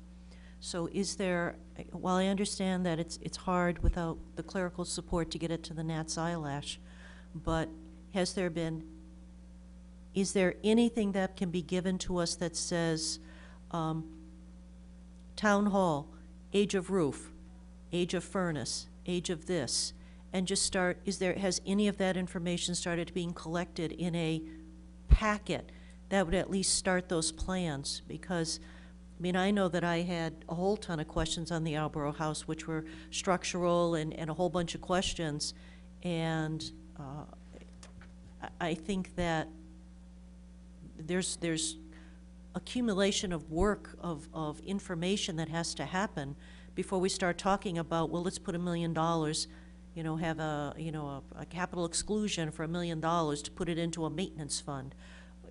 I think we have to have some information and details behind that. I, I know, Peter, you and I have talked about that, what is that plan? What is the assessment of the buildings? We have, Mr. Chair? yep, go ahead. Okay. Um, That was done. Sean put those numbers together. A decision was made to disseminate those uh, numbers to the various departments with jurisdictions over those buildings, since this truly is not a centralized function as of yet. Okay, I So gue- will I guess, that Get you the, the I the guess work what we're product asking he's is, maybe done. there's an update to that? You got it. Yeah, I- And comes to us? Yeah, actually, the, the board did receive some of this in terms of, uh, when we went through the capital outlay, uh, process, they had asked for the same thing, and Sean went, and I was surprised that he, on his own, went and talked to a lot of departments, and they did a priority list that the fire needed to have the roof done earlier than something else. So when the budget plan was adopted, uh, I think we get seven out of ten of the top things that he said he needed were on the, were in the capital plan to be funded. So that wasn't done really by myself or, or Link, that was done by Sean's input, working with department heads to establish a priority list. But we can, we can get that, he had that list that he had distributed.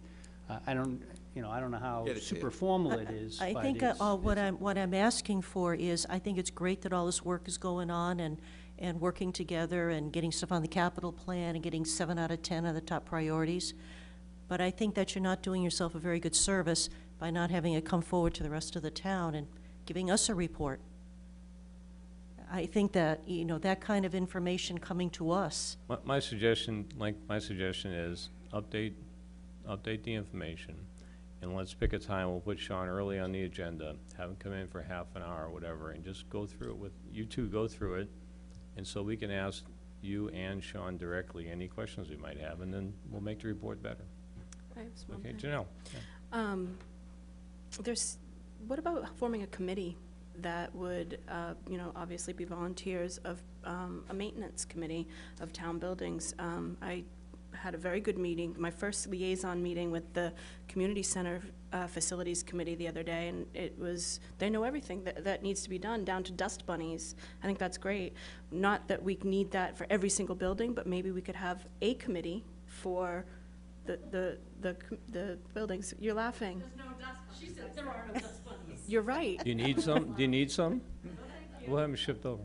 Because it sounds like um, they don't, Link and Sean don't have enough personnel to really do all of that. And um, I know we're segueing into an agenda item later in the meeting about committees, but um, there are committees on the website that are defunct. And um, I think maybe we could suggest that we form a new committee of maintenance. And, and also, uh, there seems to be some general um, public uh, contention that we, we as a town have not kept up with maintenance over the decades. So that could be a great way to involve some of the people who are disgruntled about that. Lincoln, what do you think about all that? I think we'll get Sean's work product that was distributed to Capital Outlay, who then instructed us to disseminate to the department heads to uh, Mr. Clark this week. Okay, and so let's, you know, in the next few, several weeks, we'll get you and Sean in sometime this summer. Let's hold off on thinking about, we can still think about a committee, but let's, let's hold off on that until we hear from you and what the plans are, and then, and, because I thi- I think that people will be surprised how you and Sean work with the different buildings and whatnot, I think. Uh, because I'm pretty positive I understand how that all works, so. I just Angelo. want, I just want to say, when I was liaison to the uh, rec department, Sean was there almost every meeting, working with them, because they understood what they needed, and he understood the recreation part, so, uh, the building part, rather, the maintenance part. And I thought that worked very well, and I think we have virtually a committee for every building except this building. But, uh, but there are people who are uh, very knowledgeable about their building, and, and Sean provides a- another, another step. So indeed, we have committees, I think, that cover not the whole town, but individual, be- individual buildings, or the, or the parks, or the the waterways, or the, whatever. Okay, I'm not sure we have building committees for every building. There's the community center. No, I didn't, you, uh, you you didn't hear me. I said if you take the committees that run Oh, each of the, those committees. each of the operations, and you add Sean to it, uh, and he provides the knowledge base about what needs to be done, they can work through and see what are the most important factors for them, and it becomes a very useful committee. all right, who wants to take town buildings and try and consolidate this into something cohesive as far as uh, what an object, goal and objective would be? I will. You're gonna do that, okay. All right, let's move on to financial, is that okay? We only have financial, administrative, and then economic development, so we're getting there. All right, financial, um, okay, a couple things. Um, Staying within limits of Prop two and a half and minimize the use of capital exclusions to balance the budget. Um, hopefully, as we develop budget message, that ends up being the theme going forward, I would hope. Um, Chris, uh, I know your team's working on a debt schedule, this mm-hmm. topic about looking out seven years, which would match the capital plan, mm-hmm. uh, which would just, this would be graphically, I don't want it, you know, we have these, these debt schedules of every individual thing we ever borrowed. I'm really interested in seeing graphically, where's our current debt, how it's being paid off, what new debt we're adding mm-hmm, as of the last, you know, a couple of years and whatnot, and then where we going if we overlay the capital plan on that to take a look out for seven years like the capital plan does. So it really is that straightforward and simple. So I think that's, that may just be something to do, you know, and it may be something, you- hopefully you get done before we get to the, you know, even thinking about budgeting in the fall, I don't know, so. Okay. Uh, let's see, stay within proposition two and a half, oh, the visual software, I think that Andy was gonna look at that. Yeah, we provided that information to Andy, uh, so I don't know if he's reached out to the vendor yet to find out, get some more details on how we would implement that. But Okay, he so- has, he has the materials. Okay, so what we're talking about here, Michael and and Janelle, is um, at the MMA conference, there's a company that, that makes a software package, they work with Arlington, I think was their test case. And it's a, it's a uh, uh, int- interactive graphic, basically, that builds a budget in a box. Not circles, not rect- rectangles, it's a square. And so much of the square is police, so much is fire, so much is highway, you know, so much is schools, blah, blah, blah it allows the consumer, the taxpayer, to go online and drill down in any budget. So you can go and pick on the schools, then the school jumps up with another box that says, okay, here's how much goes to instruction, here's how much goes to building maintenance, whatever.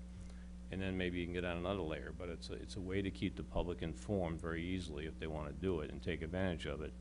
And as I understand, it works with the, um, it works with, a- with Munis our, system. with Munis system, which is a- the municipal software system we all use. So it should really be plug and play to make it happen. And I think it was all two thousand dollars or something like that, so, um, I would, I would, uh, encourage you, Chris, to nudge Andy a little bit more and just get the darn thing. Um, Question, Peter. Uh, With Monomoy Regional School District being a school district as opposed to a town, we would probably have to, uh, do they use Munis? I don't recall as to what accounting Yeah, I don't package they recall got. either. So how do we get, how do we get their information in, should be part of that discussion? Because they are forty percent of our budget. Yeah, although the. the- Same as uh, Cape Tech. Yeah, I know in Arlington, they, they dealt with, obviously, the school and whatnot, and we're on Munis, so, But our, but, but they're, know, it's not regional, I but it's the, understand. it's the district issue. yeah, no, I So I just don't re- recall what they use. I understand, complication. Um, Also, you know, I think that uh, it would be behoove us to somehow, on the tax bill, show municipal side, the water side, the school, the regional school district, Cape Tech, and maybe debt service, and that can either be an insert, or it can actually, you know, I get tax bills from down South Carolina that break it down by, here's how much I'm paying for the school, here's how much I'm paying for the water district. I mean, they, Those are different taxing districts, so that's. Yeah, I know. We'd have to do it as like an insert, I think. understand. I don't think we could add. that. whatever, I think either graphically, I mean, I think, you know, graphically it's okay, or just printed word. Mhm. let people know. And I, quite frankly, I got a little bit worried when we went to the um, selectmen's meeting, or elected officials meeting in Sandwich the other day. The Sandwich um, town administrator, boy, he was gloom and doom because his school district now eats up something like two-thirds of the, the total budget. And he's, he's only managing this little piece of it, you know? And um, he was, he had some horror stories about he hadn't done a, a, um, a debt exclusion for anything but the schools in 20 years, you know, so. I asked him to email me that presentation that he did so that we could share it. No, I mean, it's, you know, w- and, and the thing they don't have going for them, if you want to call it going for them down there, they have very few, um, um, second homeowners, if you will. It's more year-round people. All year round And so, you know, unlike us, that we have a lot of second homeowners that don't have kids in the schools, et cetera, et cetera, Um, They have a high percentage of the people that, you know, have kids in the school and, and that kind of thing. So it- it's a challenge for them. And, and you could clearly hear him say it and see it on his face when he was talking about it, so, Question? yeah. I mean, one, as you look at this breakdown of the tax bills, maybe we should look at how we can put it on the tax bill. Because, uh, for example, people get their bills online, they don't get inserts. Uh, How do we get it to the taxpayer when the bills go directly to a bank? So there's iterations here, because I, I came up with that, uh, against that, when the um, wastewater implementation committee did their, their one-page Yeah. Uh, addition, it was an insert to the water bills, and several people didn't get it because they get their bills online. Well, maybe the visual software package has it. Maybe we can do something in there, or, or or put it, maybe we put it on our website. So Chris, this is the Amy topic, treasurer's office? It's an Amy topic. Yeah, okay. One thing too is, you know, there's plenty of work just during the course of a regular, Oh, you I know, understand. season. So, again, I just ask prioritization of which ones you wanna have focused on. Okay, and the last one, um, Angelo, I think this is yours, maybe, arrange to provide all- to all departments the cost basis for any activities for which a fee is set. This is yours, yeah. Uh, This is not a requirement that fees must match costs, but rather that there must be an understanding of the total cost before any fee can be set. This should include the community center, and the building operating costs for use in setting the rent. So, Uh, Many of our departments set fees. And many of our departments are not told what costs they have to cover. Not that they have to cover the cost, they have no idea what the costs are, because we don't provide it to them. Uh, We did uh, do for four departments, I And think. we did four because they were basically enterprise or enterprise-type yeah. operations. Yeah, and, and there, the numbers range from, uh, I don't know, two hundred thousand dollars uh, to, uh, just in those indirect costs, to almost eight hundred thousand dollars. So if you're setting uh, your, I'll pick on the rec department for a moment, your basketball costs at ten dollars, uh, and you have ten people, it's a hundred dollars, but it's costing you six hundred dollars. That's not the case, obviously. Uh, You have to know that and either say, yeah, but we have to do that because we want those children to play, or, no, we shouldn't be doing that. We should either raise the cost or get rid of the program. But I think people, it's time to people to review their programs and their fees. Because, you know, uh, we're talking about wanting a million dollars for maintenance, which I think is a wonderful thing, because we don't spend money on maintenance for years. Uh, we need money to do something with the middle school. No matter what we do with the middle school, we'll need some kind of money. I can bet you right now, without looking at the, at the, the budgets for next year, that we're gonna be hard put to do anything that we haven't done this year. Because inflation will go up, we'll get two and a half percent, and we've already given two percent to, uh, you know, to the personnel, yeah, okay. uh, so it's a problem. All right. So- So I think we need to do that. Linda, would would you? If I could, I- I'd like to at least suggest on that, that um, we had talked about doing more of a general fee study Sure. across the board. Uh, You know, in my past experience, some places I've been, when you do fee studies, that has positive revenue ramifications for you if fees are too low in certain areas. So I would rather kind of tie it to something like that as an initial step. That doesn't mean that the, the four departments that we studied, um, you know, we're gonna continue on those. Three out of the four are basically self-sustaining or, or virtually self-sustaining. And the one that wasn't was recreation. Uh, but recreation does offset its direct costs or close to, we anticipate that they'll, they'll in, match their direct costs, the indirect costs. I mean, we'd have to really significantly increase the fees to, to accomplish that. But, um, you know, I, I would like to do a- more of a general fee study if we were gonna do that, because I think that will yield positive benefits from a financial perspective. That's good, I like That's that. fine. All right, Linda, would you take the Yes. financial section? No problem. It might be a couple different, and some might just be to do. Mhm. Okay. Okay, administrative, uh, I'll just run through these. Establish procurement and purchasing under an existing staff person, suggest town engineer. Uh, Establish personnel function both for administration and for management resources may be done by two different staff members. Encourage town administrator to review all town positions to determine if any activity should be outsourced, consolidated with another position or requires additional personnel. Develop, execute pre-town meeting to enhance voter in- information to voters. Uh, Define a clear set of goals and objectives with, for the town administrator. And by the way, we'll be doing that once we get our goals and objectives squared away. Agree upon uh, town administrator performance evaluation method and tools. Um, What I suggest we do there is clean up uh, the form method we used in May 2015 for this purpose. Um, Chris, maybe you could just get that to to Mhm. We can get the Michael form and Janelle. and talk about that, yeah. And I think we ought to clean up the, en- the back end, the tail end of it with the, I forget the days of Oh, something. days you are, yeah, sick days, you got Workers' bu- bu- comp and sick- Benny Something, points yeah, for. it's just like, uh, well, let's clean up the back end of those- it. those are You and I can sit and figure that out, if you will. But, but on that one, I'd just like to get that done early, um, in the fiscal year, because then we'll all know what we're gonna judge the town administrator by going forward. We'll have goals and objectives, he'll have goals and objectives, we'll have the form or the, the method uh, set out as how we're gonna do that, there'll be no ambiguity, okay? Um, Review town, review town administrative performance on goals and objectives quarterly and adjust as necessary, so. um, Anything else there? I think everything except, well, I guess one of the questions is, and I, hopefully this will come up at our next meeting on the 29th, the assistant town administrator position, I know you Yeah, I guys. get the, I get the guys comments, I gave think some last feedback. Thursday, so I didn't get a chance Uh, to yeah, yeah, And I incorporate think, that. yeah, So we're- Michael and I went through suggestions, and we didn't send it out till Thursday or Friday when we finally got it, so Yeah, so absolutely. we'll, I'll have My a chance to expectation digest for the that. and we'll- 29th we'll have get it. that in. The 29th should be reasonable. Yeah, okay, and then we, if we can all solidify, you know, we agree there, then some of that plays into this, Yep, I yep. think, so, Mhm. okay? Angelo, did you? Yeah, the, the line in here about encouraging the town administrator to review all town positions, I think it's time uh, to ta- take a look. Do we, do we have some departments to which we need to add people? Do we have some departments that should, I doubt that may, maybe if some of their functions should be outsourced?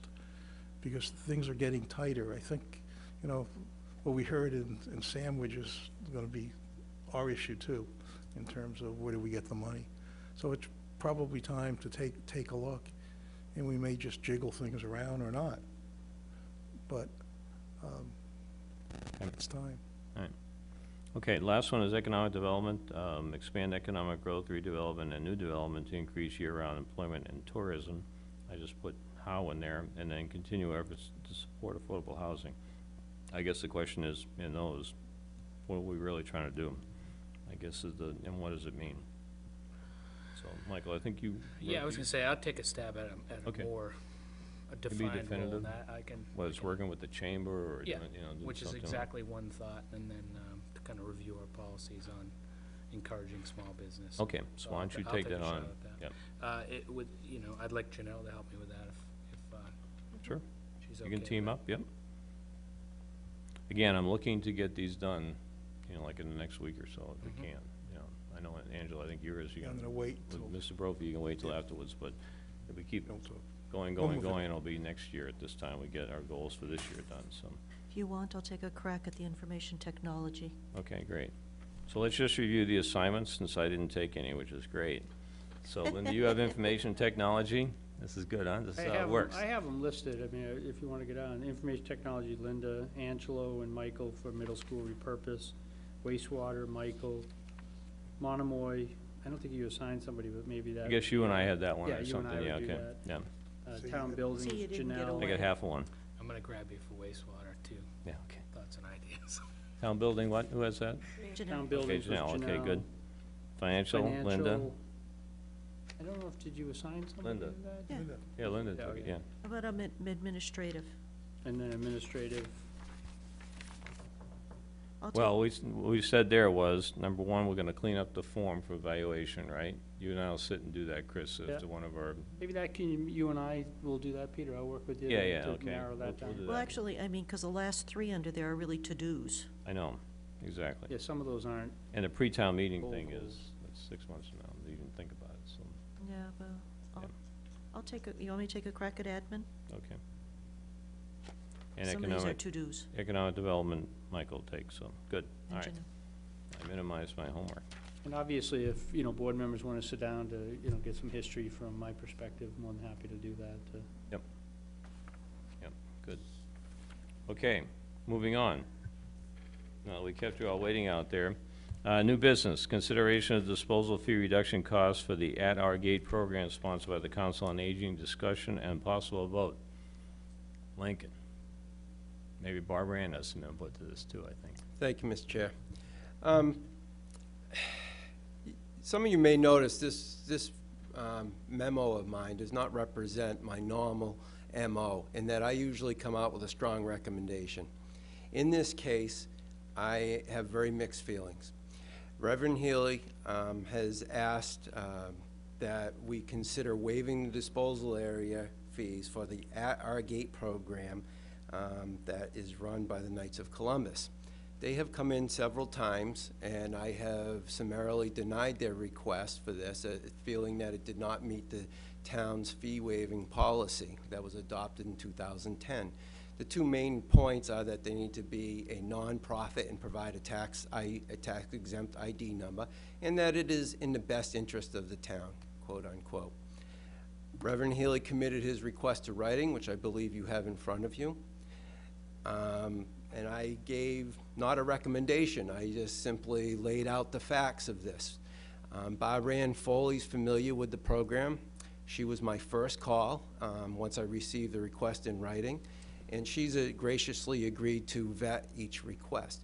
The program consists of the Knights of Columbus um, receiving a request for helping typically elderly people that either financially or physically are unable to care for their property or do normal chores that we all do. And some of those chores involve doing dump runs.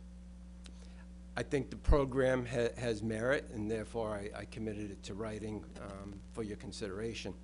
However, the business student in me is extremely reluctant um, to make an exception or to waive or reduce the fees, as I've written here as a possible compromise, in fear of setting a precedent. The disposal area runs at a break-even analysis that I provide you each spring, and although this particular request in dollars and cents doesn't amount to much when compared to a $2 million budget, budgets are tight. And I think a better approach might be to recommend that when they have these situations, to tap some other form of charity, or like the Caleb Chase Fund, or something like that, and not make exceptions or uh, reduce fees at the disposal area. I'd be Happy to try to answer any questions. Well, first I want to hear from Barbara Ann, maybe she's going to convince us here.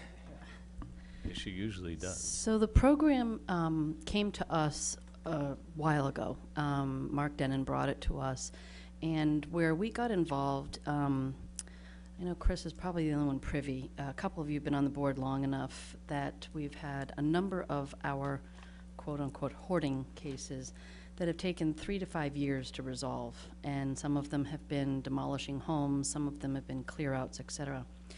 And so uh, Mark came to us because he had two people, that's how we got started with him, that had a uh, number of maybe 15 bags of stuff, papers, garbage, you name it.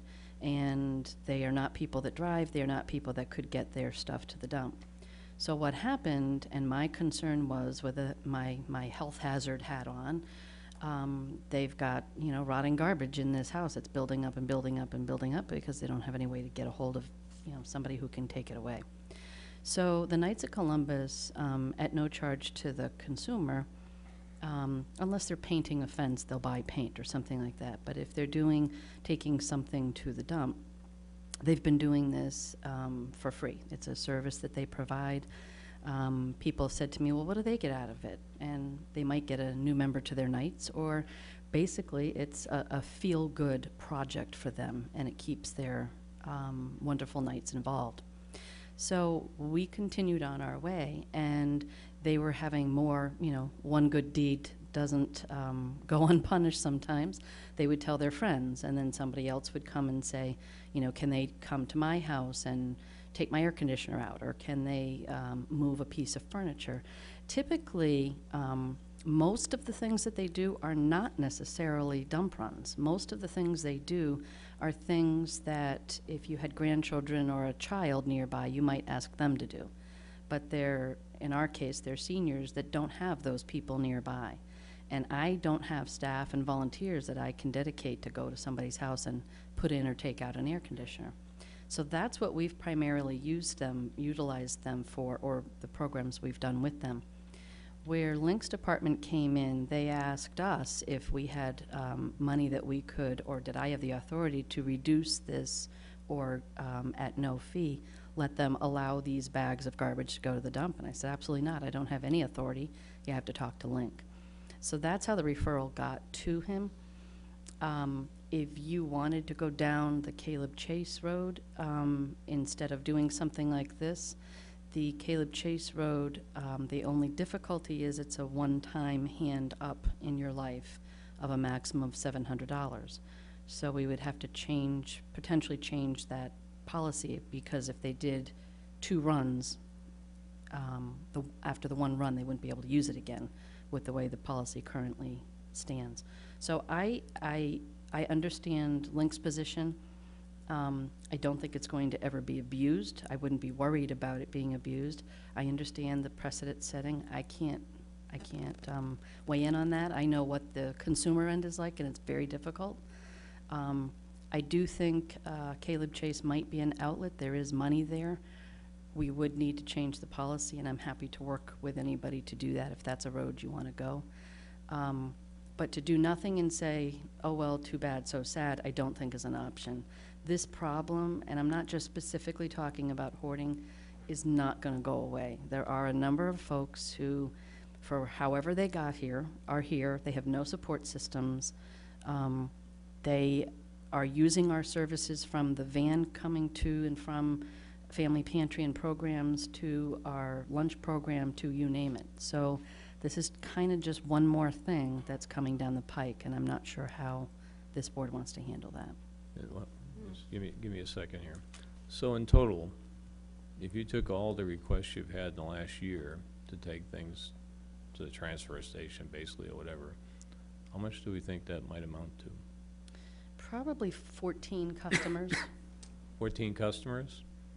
One dump run apiece, is that what you're? Well, if they have like the truck, if it's the, if it's the Knights of Columbus doing it versus, you know, their neighbor or some friend, if they're able to find somebody, um, probably one truck, so one run.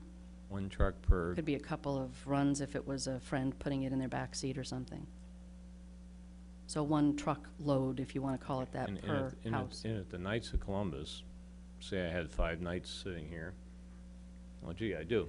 And, and- and they each had a, they each had a dump sticker, and, and they went to the house, and they each put it in their individual car, truck, whatever, and went to the dump. Link wouldn't know the difference, would he? Would you? Huh? You wouldn't. Except for I know you always know. Thanks for I that do. suggestion, Mr. Chair. Um, The issue is not necessarily household trash. The issue came up with C and D. I'm not sure the specifics, but they had a couple of trucks of shingles. They were. Okay, so, let- uh, that's why I'm asking this kind of And that question. ran, and, and what the gentleman told me is, geez, we just spent three or four hundred dollars out of our pocket. Can't you help Yeah, us out? Yeah, I understand. So, so one of the questions is, do we make this so that if it is household in bags, right? I mean, if it was something in bags, Well, like, and if I had vetted that program, there, there wouldn't be any shingles. It would be, that, that's the whole issue. so, so if you're That's why trying to we need to sort, be if you're trying to sort, reduce the cost of things that come in bags versus a truckload of shingles or twenty-eight concrete blocks or whatever that, you know, you obviously gotta pay to do something with, right? Um, Is that where we're headed here? Uh, My concern uh, is primarily with the construction and demolition material. That's Okay. where the real money is. The MSW, I can't imagine they could amount to very much. A ton of trash is a lot of MSW. I know, so, so, so sort of what I'm I'm scratching my head here, and I'm saying, you know, should we say to Barbara Ann, as the gatekeeper, if you will, kind of appropriate here, right? We said to her that in, in bagged disposal fees, she had the authority to waive, pick a number, three hundred bucks, five hundred bucks, whatever, in total, whether that made any sense or not, and you guys just work it out. And, and they, the requests come through her, you tell her, hey, that guy used three dollars and ninety-seven cents, and take it off the account, I don't know. Well, Mr. Mr. Chairman, we did have a, a discussion about this in department heads, and, and this is kind of a, um, a a difficult one, because I, you know, the hoarding issue has a lot of negative ramifications to it, not just obviously to the individual, but to the neighborhood and, and to the town overall. So I think anything the board would do, uh, you know, would be my heavy suggestion that we don't just let any group come to us and say, oh, I'm cleaning up my yard, can I have a discount? That, that's gonna get us more, more trouble than it's gonna be worth. But I think having some vetting process of, you know, getting the recommendation maybe from both Link and from, from Barbara Ann to see, and then present only those that are making a valid effort to clean up a, a hoarding situation or, or something, some kind of restriction. I, I think Link has That's- the right idea that if. That's the if we- recommendation that Link made to you folks in that letter, was basically the customer would come to us, or at our gate would come to us and say, I'm making this up, zero, zero, zero, Queen Anne Road, um, has an issue, and we would like to help them. So then Kevin, our social services coordinator, Rick, or myself, would go out to that property and physically see it with our eyeballs and say, yes, it's absolutely worth it, call Link, he says, yes, it's okay, and they go through. Or, no, it's not, it's a construction stuff, and they gotta pay for it and hire someone. I, I, it- the Caleb Chase Fund, isn't that for utilities? Right. Both of them are for utilities. One is a trust, so I'm not sure we could just change it. I don't think so. Uh, and so I, I, I'm not sure that the Caleb Chase is really the place where somebody would go for this. You know, being utilities, one being a trust, et cetera. Th- This is, this is Barbara Ann calling Lincoln saying, stand Yeah. at the gate and wave them through uh, for this one. Well, That's- Mr. Chairman, I, I wanted to kind of finish the thought. The other thing, uh, under your own policy, the only one that can waive it is the licensing authority, meaning you guys. So my, my part of this is, why not have a professional recommendation made by staff for those cases that are unusual, that, that do serve, I think, under the policy, a, a valid public purpose, so that way we have some restriction. The other thing, to the, to the point of, you know, we are trying to run a, a business without having fee structure go too crazy, that it wouldn't go to, to zero on it, but we would, we would basically just charge uh, what we would have to cover to, to cover our costs for the tipping fee for the material coming in. So it would be a substantial discount, and one that I would suggest only being done on, you know, very limited cases, but it would help out, uh, the situation, which I Yep. think is important. But it's to only have. trash, right? It's not, not C and D we're talking about. Linda? Question, I know that when we all get our transfer station tick, uh, stickers, they have the driver's, the uh, license of the plate on it.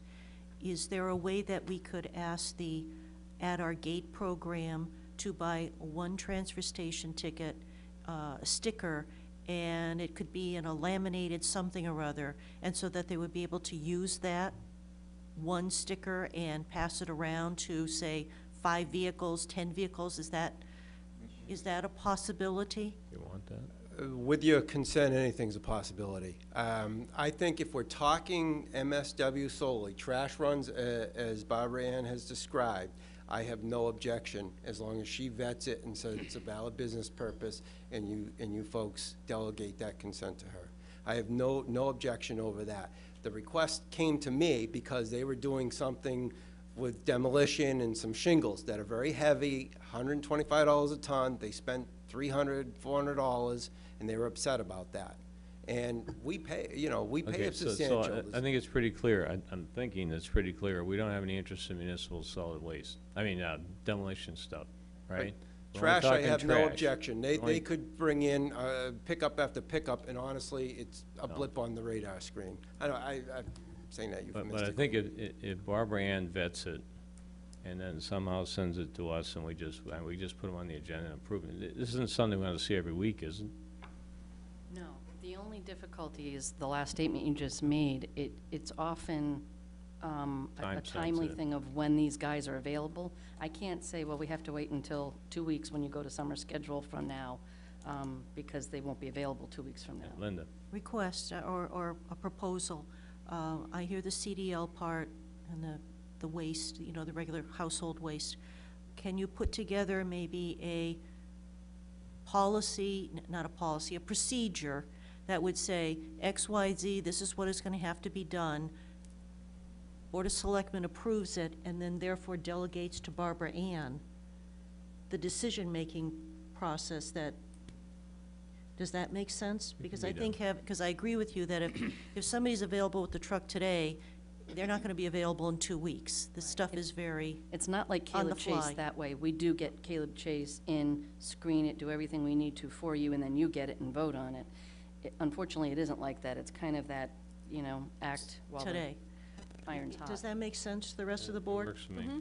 Yep. A, a, put together a quick procedure, We we'll can vet take it, that from and then um, give you Link's letter, authority to 'cause do that? Pretty close to it. Michael?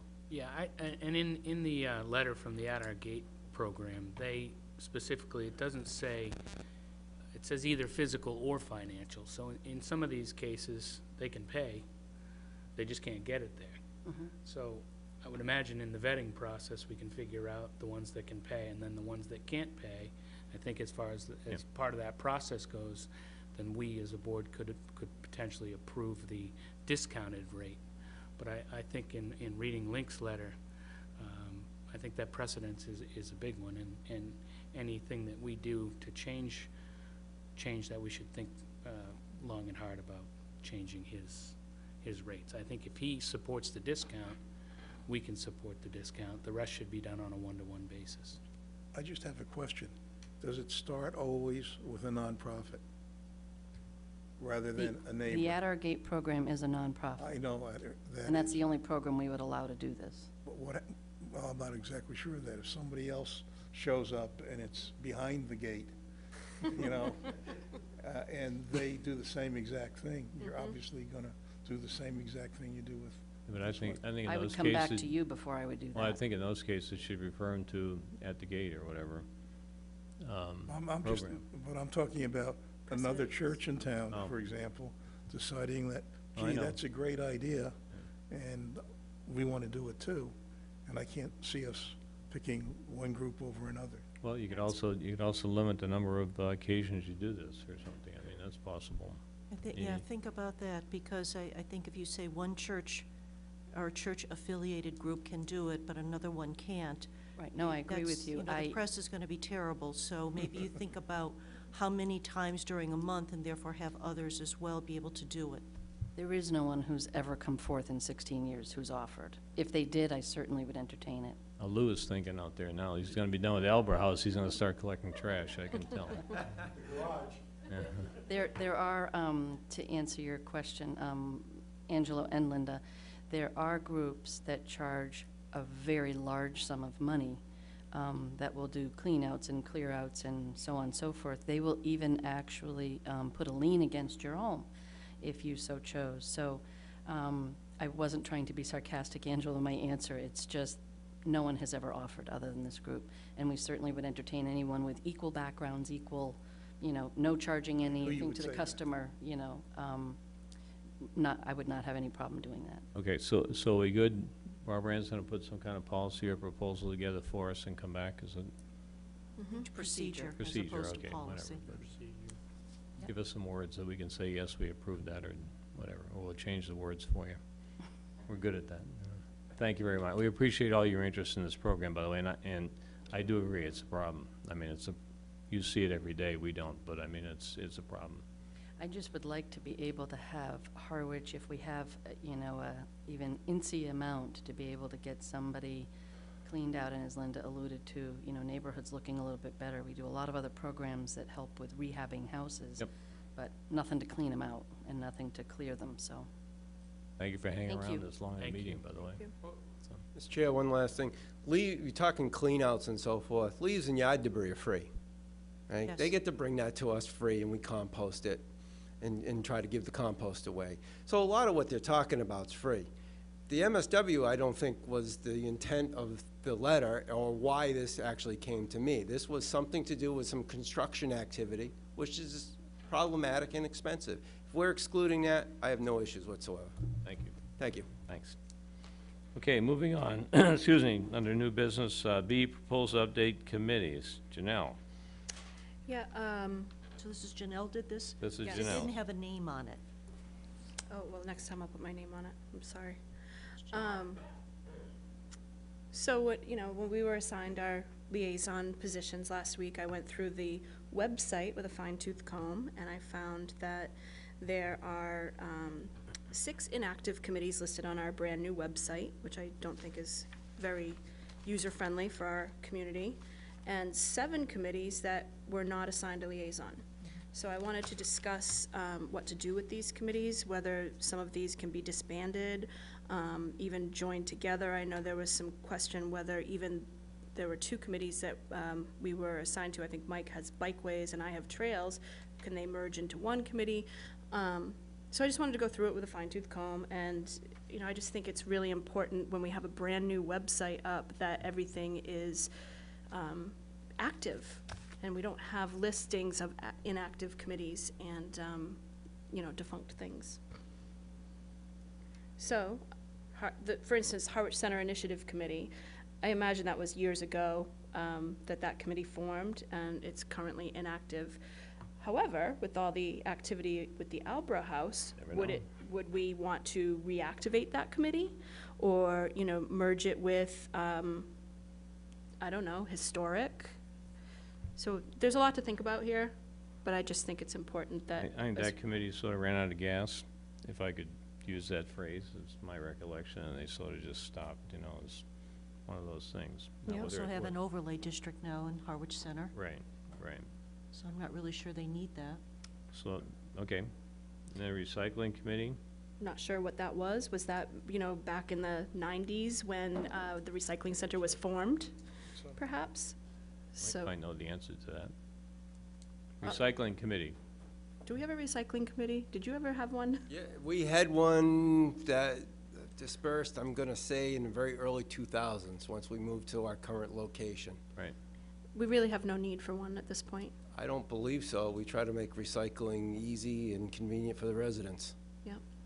So that would be, I know the board is the, um, governing body that has to disband Yep, these sure. committees. Yep. Um, Police Station Building Committee, of course, that was Think when it's they were built. building, you know, yeah, that's gone, right? We don't need that. Technology, however, that would be probably something, being that IT was first on our uh, um, goals list, uh, that might be something we want to reconsider. You know, do we want to have some input from the public and actually form a committee that can help us um, come up to speed with broadband and everything that we need to get to that next step? If I remember that one, we couldn't find people, Willing? after a while, we couldn't find people to serve. Yeah. So I think it's just sat there, but I, you know, I think it's worthwhile doing, but Mhm. there ought to be a way to revive it. And if we are talking about trying to get some younger folks involved, I think that's a prime area where they should have an interest, I would think, but Can I, can I make a suggestion? Uh, About two or three years ago, uh, when the uh, Cape Wide uh, line was coming, Open Cape was coming through, we put together a committee of several town people and chamber people, and uh, many of the people had businesses in town. And that committee worked, I thought, extremely well.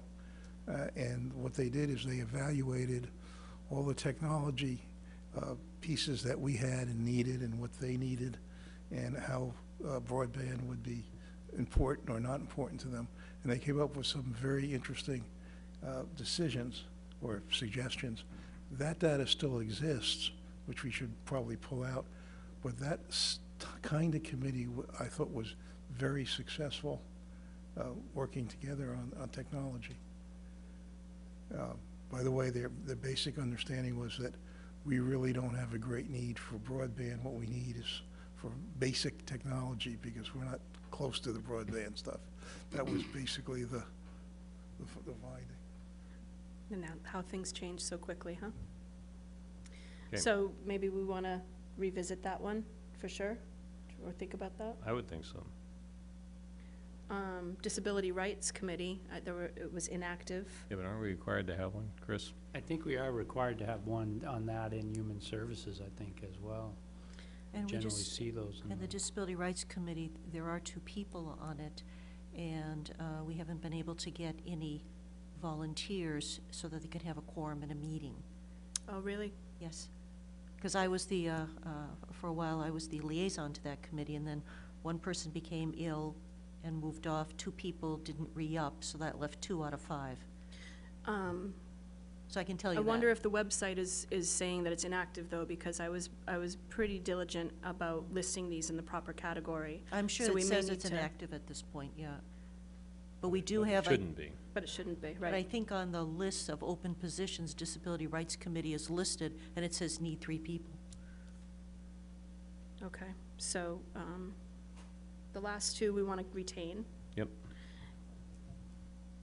Um, So I think the first one is um, sort of up in the air question. The second two, recycling and police station building, looks like they should be disbanded. And technology, I would, I think if it's not going, we should, we should figure out what we want to do to reactivate it, mhm. so. Okay, And, um, so the next seven, um, did not get a liaison assigned to them. And, um, I also just wanted to find out what the purpose is, like, there's three Pleasant Bay committees. Um, does wastewater implementation trump those three? Um, you know, now that we're moving into uh, sewer issues, um, we, are these, do we need these committees anymore? And, you know, being a newcomer, I, I certainly bow to your expertise. I would, um, actually, I'd ask Alan Thompson about the Pleasant Bay stuff, because he's been involved with all of that. Those are also four-town committees. Yep. They're Yeah. not particularly our Harwich committees, Okay, so they, they ask for representatives to, you mm-hmm. know, the, the people, of the towns around Pleasant Bay. So where it says Alliance, that's, you know, Brewster, Orleans, Chatham, and Harwich, okay. okay? So those aren't our committees to either disband or do anything to. But, but Alan could tell you whether they're active or not. Yeah. or- And I think we need to also uh, give information on the website that those are in alliance with the other towns, because I didn't know that. Um, I was gonna say, I think Alan Thompson just had a meeting the other day for, I don't remember which group, but it was Pleasant Bay. So, Yeah, I yeah. mean, they are, Yeah. they are still active. Yeah. And being that they're alliances, they don't require liaisons, I imagine? I They're think just, we, yeah, we haven't traditionally had liaisons to them. We have appointments to them typically. Yeah, we have an appointment to them. Yep. so that's maybe it. they could even be, like, kind of singled out on the list of boards and committees, maybe have a whole new topic that says alliances. And then that way, it's not confusing for the general public, um, nor me. But also, uh, y- you know, I've never understood why they have three Pleasant Bay various alliances, and there isn't just a Pleasant Bay Alliance, period. Right. I've never understood that one. Quite frankly, the expert on the- everything Pleasant Bay is Carol Ridley, so Yes, she would know. Carol Ridley would be able to probably You know give you. Carol? that's I right. don't know her. Okay, Carol Ridley is uh, all about Pleasant Bay, so, I And can she's- get you her contact. yeah. Um, and then I imagine the Wireless Communications Regional Committee is also something with many towns. Um, Designer Selection Review Committee, That's whenever we design a building, okay, that doesn't fall under the architectural? we need, no, we need, we need someone to design it. That's usually an AE firm, not necessarily an arch, not, not necessarily the architect itself, but the engineering firm that's gonna do the work. I But you see. know, but you So- know what's interesting, Peter, is Designer Selection Review Committee, when we do have a, a building to be built, the police station figured out, put out the RF, the, the police station building committee put out the RFPs to hire the architect, da-da-da-da-da. Why we have a separate Design Selection Review Committee? Because the contracts come to us. Could we form a committee, if we're ever gonna build another building, could we Yeah, form a you committee form it then? Yeah, Form it absolutely. then. Absolutely. So basically, get rid of it. Mhm. And Town Forest Committee, what, what, what is that? Call Link Thatcher. Yeah? Does that mean that, Used the that it tree warden exists? for a long time. No, I don't know. There are two tree wardens. I think we have two people on the town committee at least, on the forest committee, at least tree wardens. Okay. And we don't know what they do? What- Yeah, they worry about trees. So does the Conservation Department.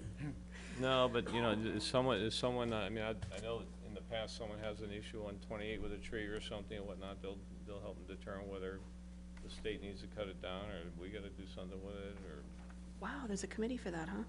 no, it's a tree warden. Okay, so, but Tree this, wardens, I think, are part of this so-called committee, but So Yeah, we I- should, we actually, should I- explore that one more. Yeah, I don't know. In, in one of my previous towns, actually, it's the first time ever that the, they had a tree forest committee, and they actually did uh, pruning and they harvested trees.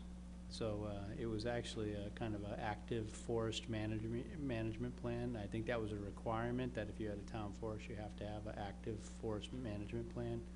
A lot of times, things just now get deferred to the tree warden, who's probably Link or, uh, I think it's a link. I think it's like, somebody down DPW, but You also may want to check with Amy in Conservation Yeah. and see, because she would be one that works with them, you know. And then Michael can tell us all about the dead trees along the bike trail.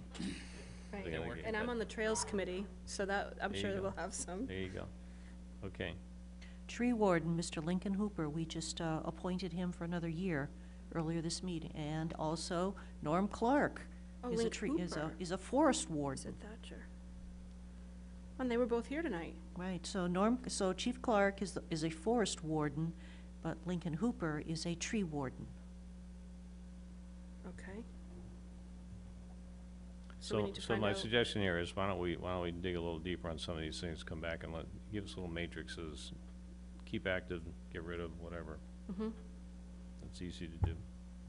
We just don't want to offend anybody that thinks they're on the committee when we disband it. If you know you what I could mean. probably work with uh, Sandy in the office. She has a pretty good tally Yeah, of yeah. what's what in terms of that. Okay. Okay. And then the last part was, um, just want to throw out some ideas of how we can get more people involved in these committees. And, um, you know, one of them obviously is the website, keeping it up to date and, um, letting people know what vacancies are there. Um, it would be great to have one sheet that's a PDF that people can print right from the website. So they don't have to keep clicking on individual committees because they're, you know, that list is very, very long. I didn't count how many, but there's gotta be thirty. Um, So just another website idea, which I have brought up in the past as well, um, so that people could, like, for instance, some of the, the people that I know at, um, Little League and at- that I've ran into at the park playing with kids are like, you know, I'd really like to get involved with something, but my time's limited. Can you just give me one page that I can see where everything is? So I got a page in the office last week, but it was outdated. So just, um, I think that would be a great way to start attracting citizens. Um, and then each individual committee, I think it's important that we suggest that perhaps they have, um, some of them, if they, if they can, have some more conducive hours of meeting rather than eight AM on a Friday or ten AM on a Wednesday, if, if possible. I think that's really important. The, the problem with the times, usually, well, the times are set by the, um, the boards themselves, folks on the committees. And sometimes people volunteer for a committee because it's at a time, and other times they can't volunteer because it's at a time. Committees do change over time. Committees can change their, their day and time of their meeting whenever, you know, it- they need to or want to. But typically, I've found, and I think, I'll just speak about real estate and open space committee, I think there were some people that their only window of opportunity was on a, you know, it had to be eight in the morning or something, because they're all going off to work and they squeezed it into the beginning of the day. I don't know. Mm-hmm. So, but, you know, those things can be changed if the board agrees it wants to do it. We don't set the times for people, we don't set the days they meet. We just, um, we, we encourage them to meet. Right. So, it, it is hard, especially as these boards get into, you know, seven people or something like that, it's hard to get a mutual time, you know. so. Peter? But as liaisons, it's something. Just a quick um, comment to Janelle that might be helpful to that kind of person and anybody else for the committees. I'm not looking for Sandy or Ann to do more work, I don't know who would do it, but Cape Cod Volunteers, who comes to our building um, once a week, is a wonderful clearing house for all volunteers Cape-wide. And they'll do the CORI check, they do all the background, that kind of thing. And they have a very, very user-friendly website. So if we could take all the 15 positions that we're looking for volunteers for, for boards and committees, and pop them into that website, we might get somebody. Mm, Need to be good town idea. residents. live here. Have to live here, so we would have to be carefully put that up. Harwich Because we residents wouldn't only. want, s- yep, but we'd have, just to make sure that that gets, just Harwich. The, the other thing is a minimum, uh, you know, if you even pass out to people, um, uh, the citizen activity form, even though it lists, I think, all the boards and committees that potentially there. It doesn't tell people which ones are open or have openings or whatnot, but at least, at least they can see, hey, there's something on here I might be interested in, I should check out further, so. And we do keep track of people who are, have an interest in a committee. There might not be an opening, but they, you know, Sandy does keep track of who has shown an interest in that committee, and that when an opening comes up, she can say, so-and-so has shown an interest, Mhm. so we can go after them. Good. The, uh, the book that is handed out at town, around town meeting time about the, the entire town, little The annual report? annual Annual report. report, that has a page at the back that has a listing of all the committees also. And it has the application. It has an application. That's the best book to give out, quite frankly. I mean, So It's a, it's a wealth of information. But Of if- course, we probably think it's too important, because it's got so much stuff. if in it. the, if the uh, sheet that we have down in the uh, town ad- uh, administrator's office is not up to date, we should get that up to date as soon as we finish this, reprint it and get it going. Yeah, you know, I would think That's- it's, um, I- I'm gonna, I'm gonna press on the interview committee to, to make sure you work with Sandy and keep our list So we'll- current. We'll we'll wait for you to get back. Yeah. But I mean, as far as what openings are around and whatnot, that, Yeah. that's a good focal point for it. Okay. Mhm. Anything else? That's it. Thank Okay. you. Uh, last item on our new business, uh, new police chief contract. Uh, we, the board has voted, um, to approve the police chief's contract, uh, with the stipulation that, um, he undergoes a successful, uh, background check. That's standard routine. Um, but we, we reached that agreement, uh, and, and uh, signed that document this evening. So assuming he signs, uh, July twentieth will be his start date. Okay? Town administrators report. Thank you, Mr. Chairman. Uh, I do have several this evening. I'll try to work my way through them as quickly as possible. Uh, The first one I have is, uh, we have received some uh, information from uh, Cape Cod Commission. Uh, Apparently, the 208 plan, uh, certain elements of it have been adopted, so they are doing a information meeting. That information is going to be, they call it a Cape-wide WMA meeting. It's Wednesday, June 24th, from 6 to 8 PM at Monomoy Regional High School over at 75 Oak Street. Uh, If you go onto their website, they are asking for a, uh, if you're planning to attend, to, to let them know. I did pass that out to board members, so you have the, um, the link. And that is open to the public, I assume? I presume it is. Yeah, I mean, I'm I'm sure we should, we should announce that on Wednesday when we do our meeting on Wednesday night. Can we put it on the website, too? Yeah, And I also think, if I remember reading the paper today, the governor signed off on, the- Yeah, on that's the what two it eight Yes, plans, that's so, what I yeah, think that's you're what gonna give an prompted this, I on. think, yeah. The, uh, we did receive, and I, I had a chance to kind of look through a uh, open meeting law complaint in regards to the, uh, the the wastewater moment.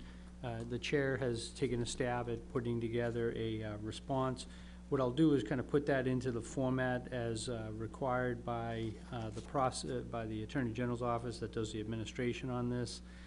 So we did receive the complaint. We have 14 business days, so we can actually probably do it. I I counted it up. We could do it at the meeting on the 29th and still have, I think it's the 30th, or the, uh, the 1st is the 14th day. Fourteen to So- fifteen days, yeah, 14 days. okay. It was It's 14 business business days. days. Yeah, it's Business days, yeah, so we have, we have some time. So just so the board's aware, I, I think quite honestly, I, I had several of these complaints at my uh, last place, and I think just the, the person took offense at, um, that it was a little bit too simplistic, just saying wastewater moment, well, what does that mean? So I think being more descriptive of it, like we did at this agenda, is probably gonna address that issue. Uh, plus, just thinking about it, we, we have a lot of information on the, on the website, so if people go and look at the agenda, they can get even more information. So I think it's more of a, uh, just a question of, uh, education. Also, um, just so, uh, the board's aware, uh, we have had a, uh, request for a time extension in regards to, uh, from, uh, Robert Our on the, uh, the Wychmere Harbor project. They're doing the, uh, the, the, um, the pier, and that they were delayed uh, because of the uh, cold winter. They could not bring the, uh, the barge that needs to do the, uh, I guess, the pounding of these pilings into place. Oh, Uh, So they, they were delayed. Uh, So there is gonna be some limited access uh, to that. We anticipated that it would be uh, around June. Uh, The Shellfish Lab and the uh, the, the fleet, the fishing fleet will have access by June thirteenth.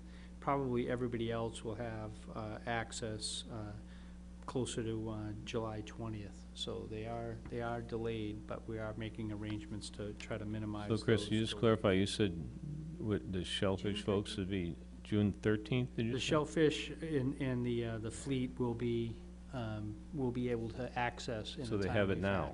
Yeah, actually, no, I'm sorry. Yeah, um, yeah, they have access now. Okay, The commercial fleet is, uh, June twenty-second. okay.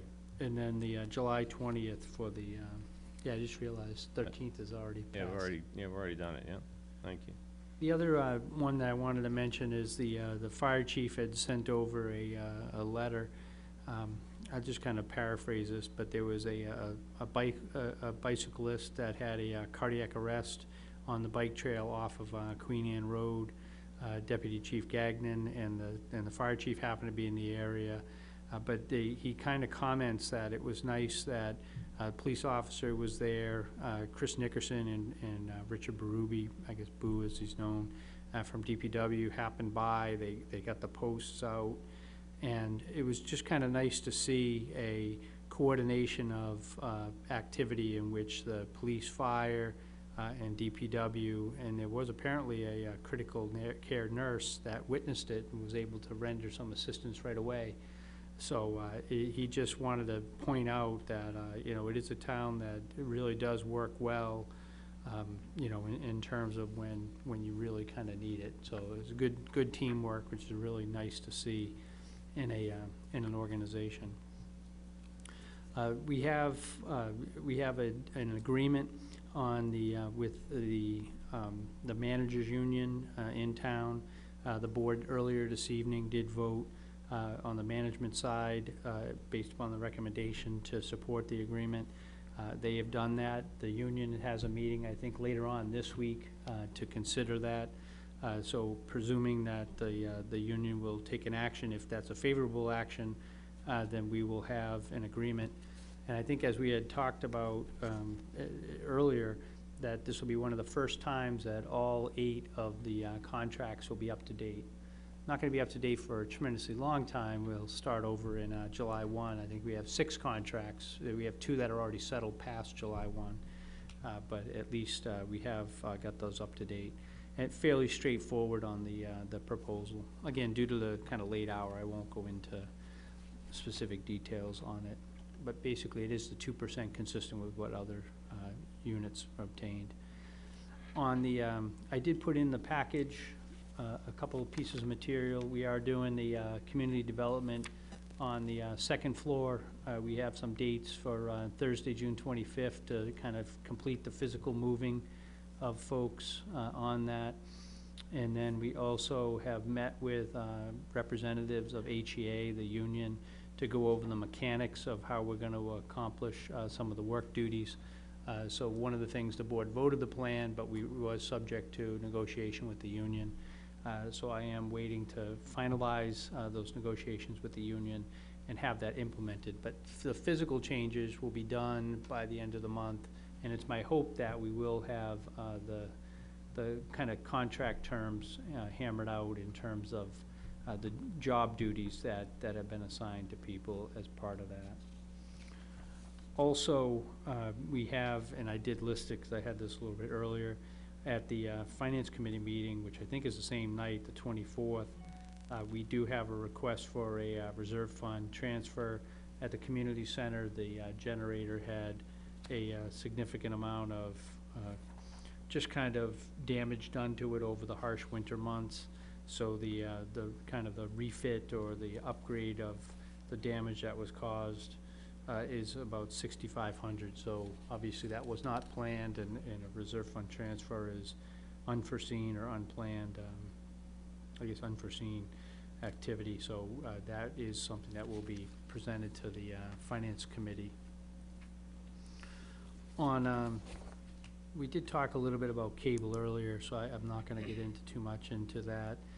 On the, uh, just two other ones, actually, just one other one, I guess, on, uh, two other ones. On the, uh, we have a tentative meeting that we've requested of the board for, uh, Friday, June nineteenth. We are doing a uh, ban, uh, bond anticipation notes that we do have to borrow money. I think it's about two point five million dollars uh, to, to uh, take care of most of the town meeting activities for borrowing from last year. Uh, That includes also the money for the uh, Downey property, uh, so make sure we have the ability to pay that uh, when that gets uh, squared away. Uh, So we do need the board to actually formally approve those, those bans. Can we set, that- excuse me, we set that up at eight o'clock on Friday because next Monday we're not meeting, so I didn't want to drag you in at night. We really only need three board members. I mean, that's the essential thing to get a quorum. Right. So I'm assuming, can we get, I can be there at eight. I'll be there. It, it'll take literally five minutes, so it's. not- Now, I haven't got a confirmation yet that that works for the financial I understand. advisor, but we'll, we're understand. working on that. Proposed it. Let us know. Yeah, let us know. Please. And then, uh, just the last thing is on the, uh, the selectmen's office, uh, the board had given me, uh, some flexibility to do something with it. So we will be kind of taking the desks out, and as part of the second floor reorg, uh, those desks are actually a little bit more compact, so it'll help with some space issues. So we'll take the desk out, we will leave one desk in there and the table, and set it up more as a meeting room. So the day of the twenty-fifth, when we move upstairs, I thought, might as well do it all at once while we have the DPW resources here. So the office area will be uh, changing fairly shortly. Still be dedicated for the selectmen. I I haven't figured out any other agency that would be good to go in there. But at least we'll make it as a meeting space, uh, so we'll have some greater flexibility with that, too. And that uh, concludes my uh, comments this evening, Mr. Chair. Okay, thank you. Any questions? Yeah, Michael? Chris, just two things. The, um, I think it's important to note on that open meeting violation that in our agenda was what we talked about. You know, I think it was just kind of said that it was a, that he, that he took um, issue to the description. Uh, i- If you read the agenda, Peter was pretty clear what we were gonna talk about, and that's what we talked about. So that was one. Number two, on the, on the, um, the extension of the harbor Yes. contract, the, um, what provision has been made for the people that have moorings in that, in that harbor? Because I, I did get one complaint which I directed to you. Um, The person that holds a mooring in Wychmere was told to, that he could put a uh, dinghy on the dock at Saquatucket and row over to his boat. Um, John Rendon had, had told him that that was the provision that was made. I don't know how long that provision was gonna Being on be. the dock at Yeah, no, I Saugatuck. talked to John. Uh, you know, One issue is that because the construction equipment is there, uh, there is limited parking. I mean, that lot really has limited parking anyway, but because the, uh, the equipment to put in this material is, is fairly good size, it is very limited parking. So it is kind of a, a drop-off system, which is definitely gonna be an inconvenience for folks. But in my conversation with John today, kind of going through that, again, that we'll have access to the Shellfish Lab, we'll have access for the commercial fleet. And then if, if you're kind of familiar with that site, there's a, uh, a little, I think he was gonna have a walkway down to the, um, to the water, so people could get their dinghy and, and row out to their boat. So the big inconvenience is gonna be that they're gonna need someone to kind of drop them off because the parking is even more limited than normal. And what was the date on completion, so they'll have a place to park? I think that that would be, um, well, the date on completion, completion Well, for will those be, uh, July twentieth. Okay. Will be final completion. Ju- But June, June twenty-second, he'll have, uh, that temporary arrangement, so people will be able to get there. Have you ever rode from Saugatuck to Just, Wychmere? just a That's question. a long way. I thought it was kind of, Do, do you think John Our would have some space at his place for, to park? Uh, you know, to allow a couple of cars, ha have moorings to park, and maybe just row, row from there? 'Cause I, or the parking lot at the end by Stonehorse. how yeah, much by of that is Stonehorse, yeah. town? Uh, But but that's really, that's really John Our's, Question, I guess, for them would be, uh, you know, since he's working on the other piece, he Right. might, you know, say four or I five think it's only could come up a park. few times, Chris, but the few people that have called seem pretty irritated. Well, definitely unfortunately, if, inconvenient. if the project got delayed, wa- you know, the weather and everything, I think that I, I'm sure that there's a, an inconvenience and an irritation level, but it's not like we prayed for twelve feet of Nope. snow. No, but you know, people pay their mooring fees and they expect Yep, to use the They moorings. expect to use so them. They're- You They're don't al- expect to have to row from Saugatuck to Wychmere. That's, have you ever done that? they're also required to have their boats on the mooring for thirty days, and a Yeah, I lot of people want to do it now. Yeah, I imagine he's gonna make an exception for that as well. Me too. You'd have to. All right, anything else for the town administrator? Selectmen's report, so we can get out of here. Uh, Remind everybody, we have no meeting next uh, Monday, June twenty-second. It's the start of our summer schedule. Uh, Hopefully, you'll all make the wastewater meeting on Wednesday, this Wednesday, June seventeenth at six PM. I expect it to be uh, very well attended. Uh, We did mention the bond anticipation note meeting on Friday, and we did mention the uh, Cape Wide MM MWA meeting uh, next Wednesday, the twenty-fourth. So that's all I have. Does anybody else have anything? Linda? Well, I was, I was going to give a dissertation. I went to the, but I won't because it's late and I'm getting What's the eyeballed subject? here. What's the subject? Subject is I went to the uh, Buzzards Bay Coalition and the Waquoit Bay National Estuarine Research Reserve. And it was more than a message beyond water words that work. It was a seminar held Friday on basically how to position yourself to explain and educate and sell wastewater. And it was really, is very interesting. I I was, I was somewhat disappointed that there was no one from our wastewater implementation committee there. It was just me. And, uh, but it talked a lot about the target audience, the impression you want to make, how do you get your attention through conversion, and then how do you keep people? And I came back with a nice little handout as to how to do this. So I was thinking that I would talk to the chair of the wastewater implementation committee and at least pass this on. But it was a very interesting seminar. It was, uh, you know, I think one of the things that was probably the most interesting was we all think that, oh, we can send a mailing and we'll tell everybody everything, or we'll put it on email, or we'll do a, a Facebook page or an app or something. All of them have like teeny tiny little response rates, teeny tiny. The thing that gets you your response rate is you call somebody up on the phone and you say, hey. And even that's only about a 15 to 20% response rate. So, I mean, it's, it's called, you've really got to tailor your message, you got to figure out, you got to get it out there in a bunch of ways.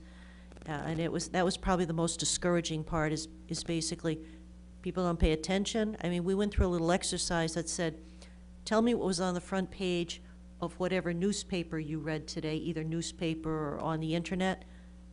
Basically, the room went blank. They didn't remember anything. No offense, guys. You two newspaper people. And then it was, obviously. And then it was, what was the last ad you saw when you pumped gas? There's ads all over the gas pumps. Because people ignore all of this. There's so much out there that you just, psh, gone. You don't even pay attention to it. So that part of it was anything, but I'll get with the uh, chair. Okay, thank you. And you can do all this stuff on Wednesday if you want to uh, deal with the wastewater thing. Yeah, yeah. Okay. Anything else? We're adjourned. See you Wednesday. Anything emailable, Linda?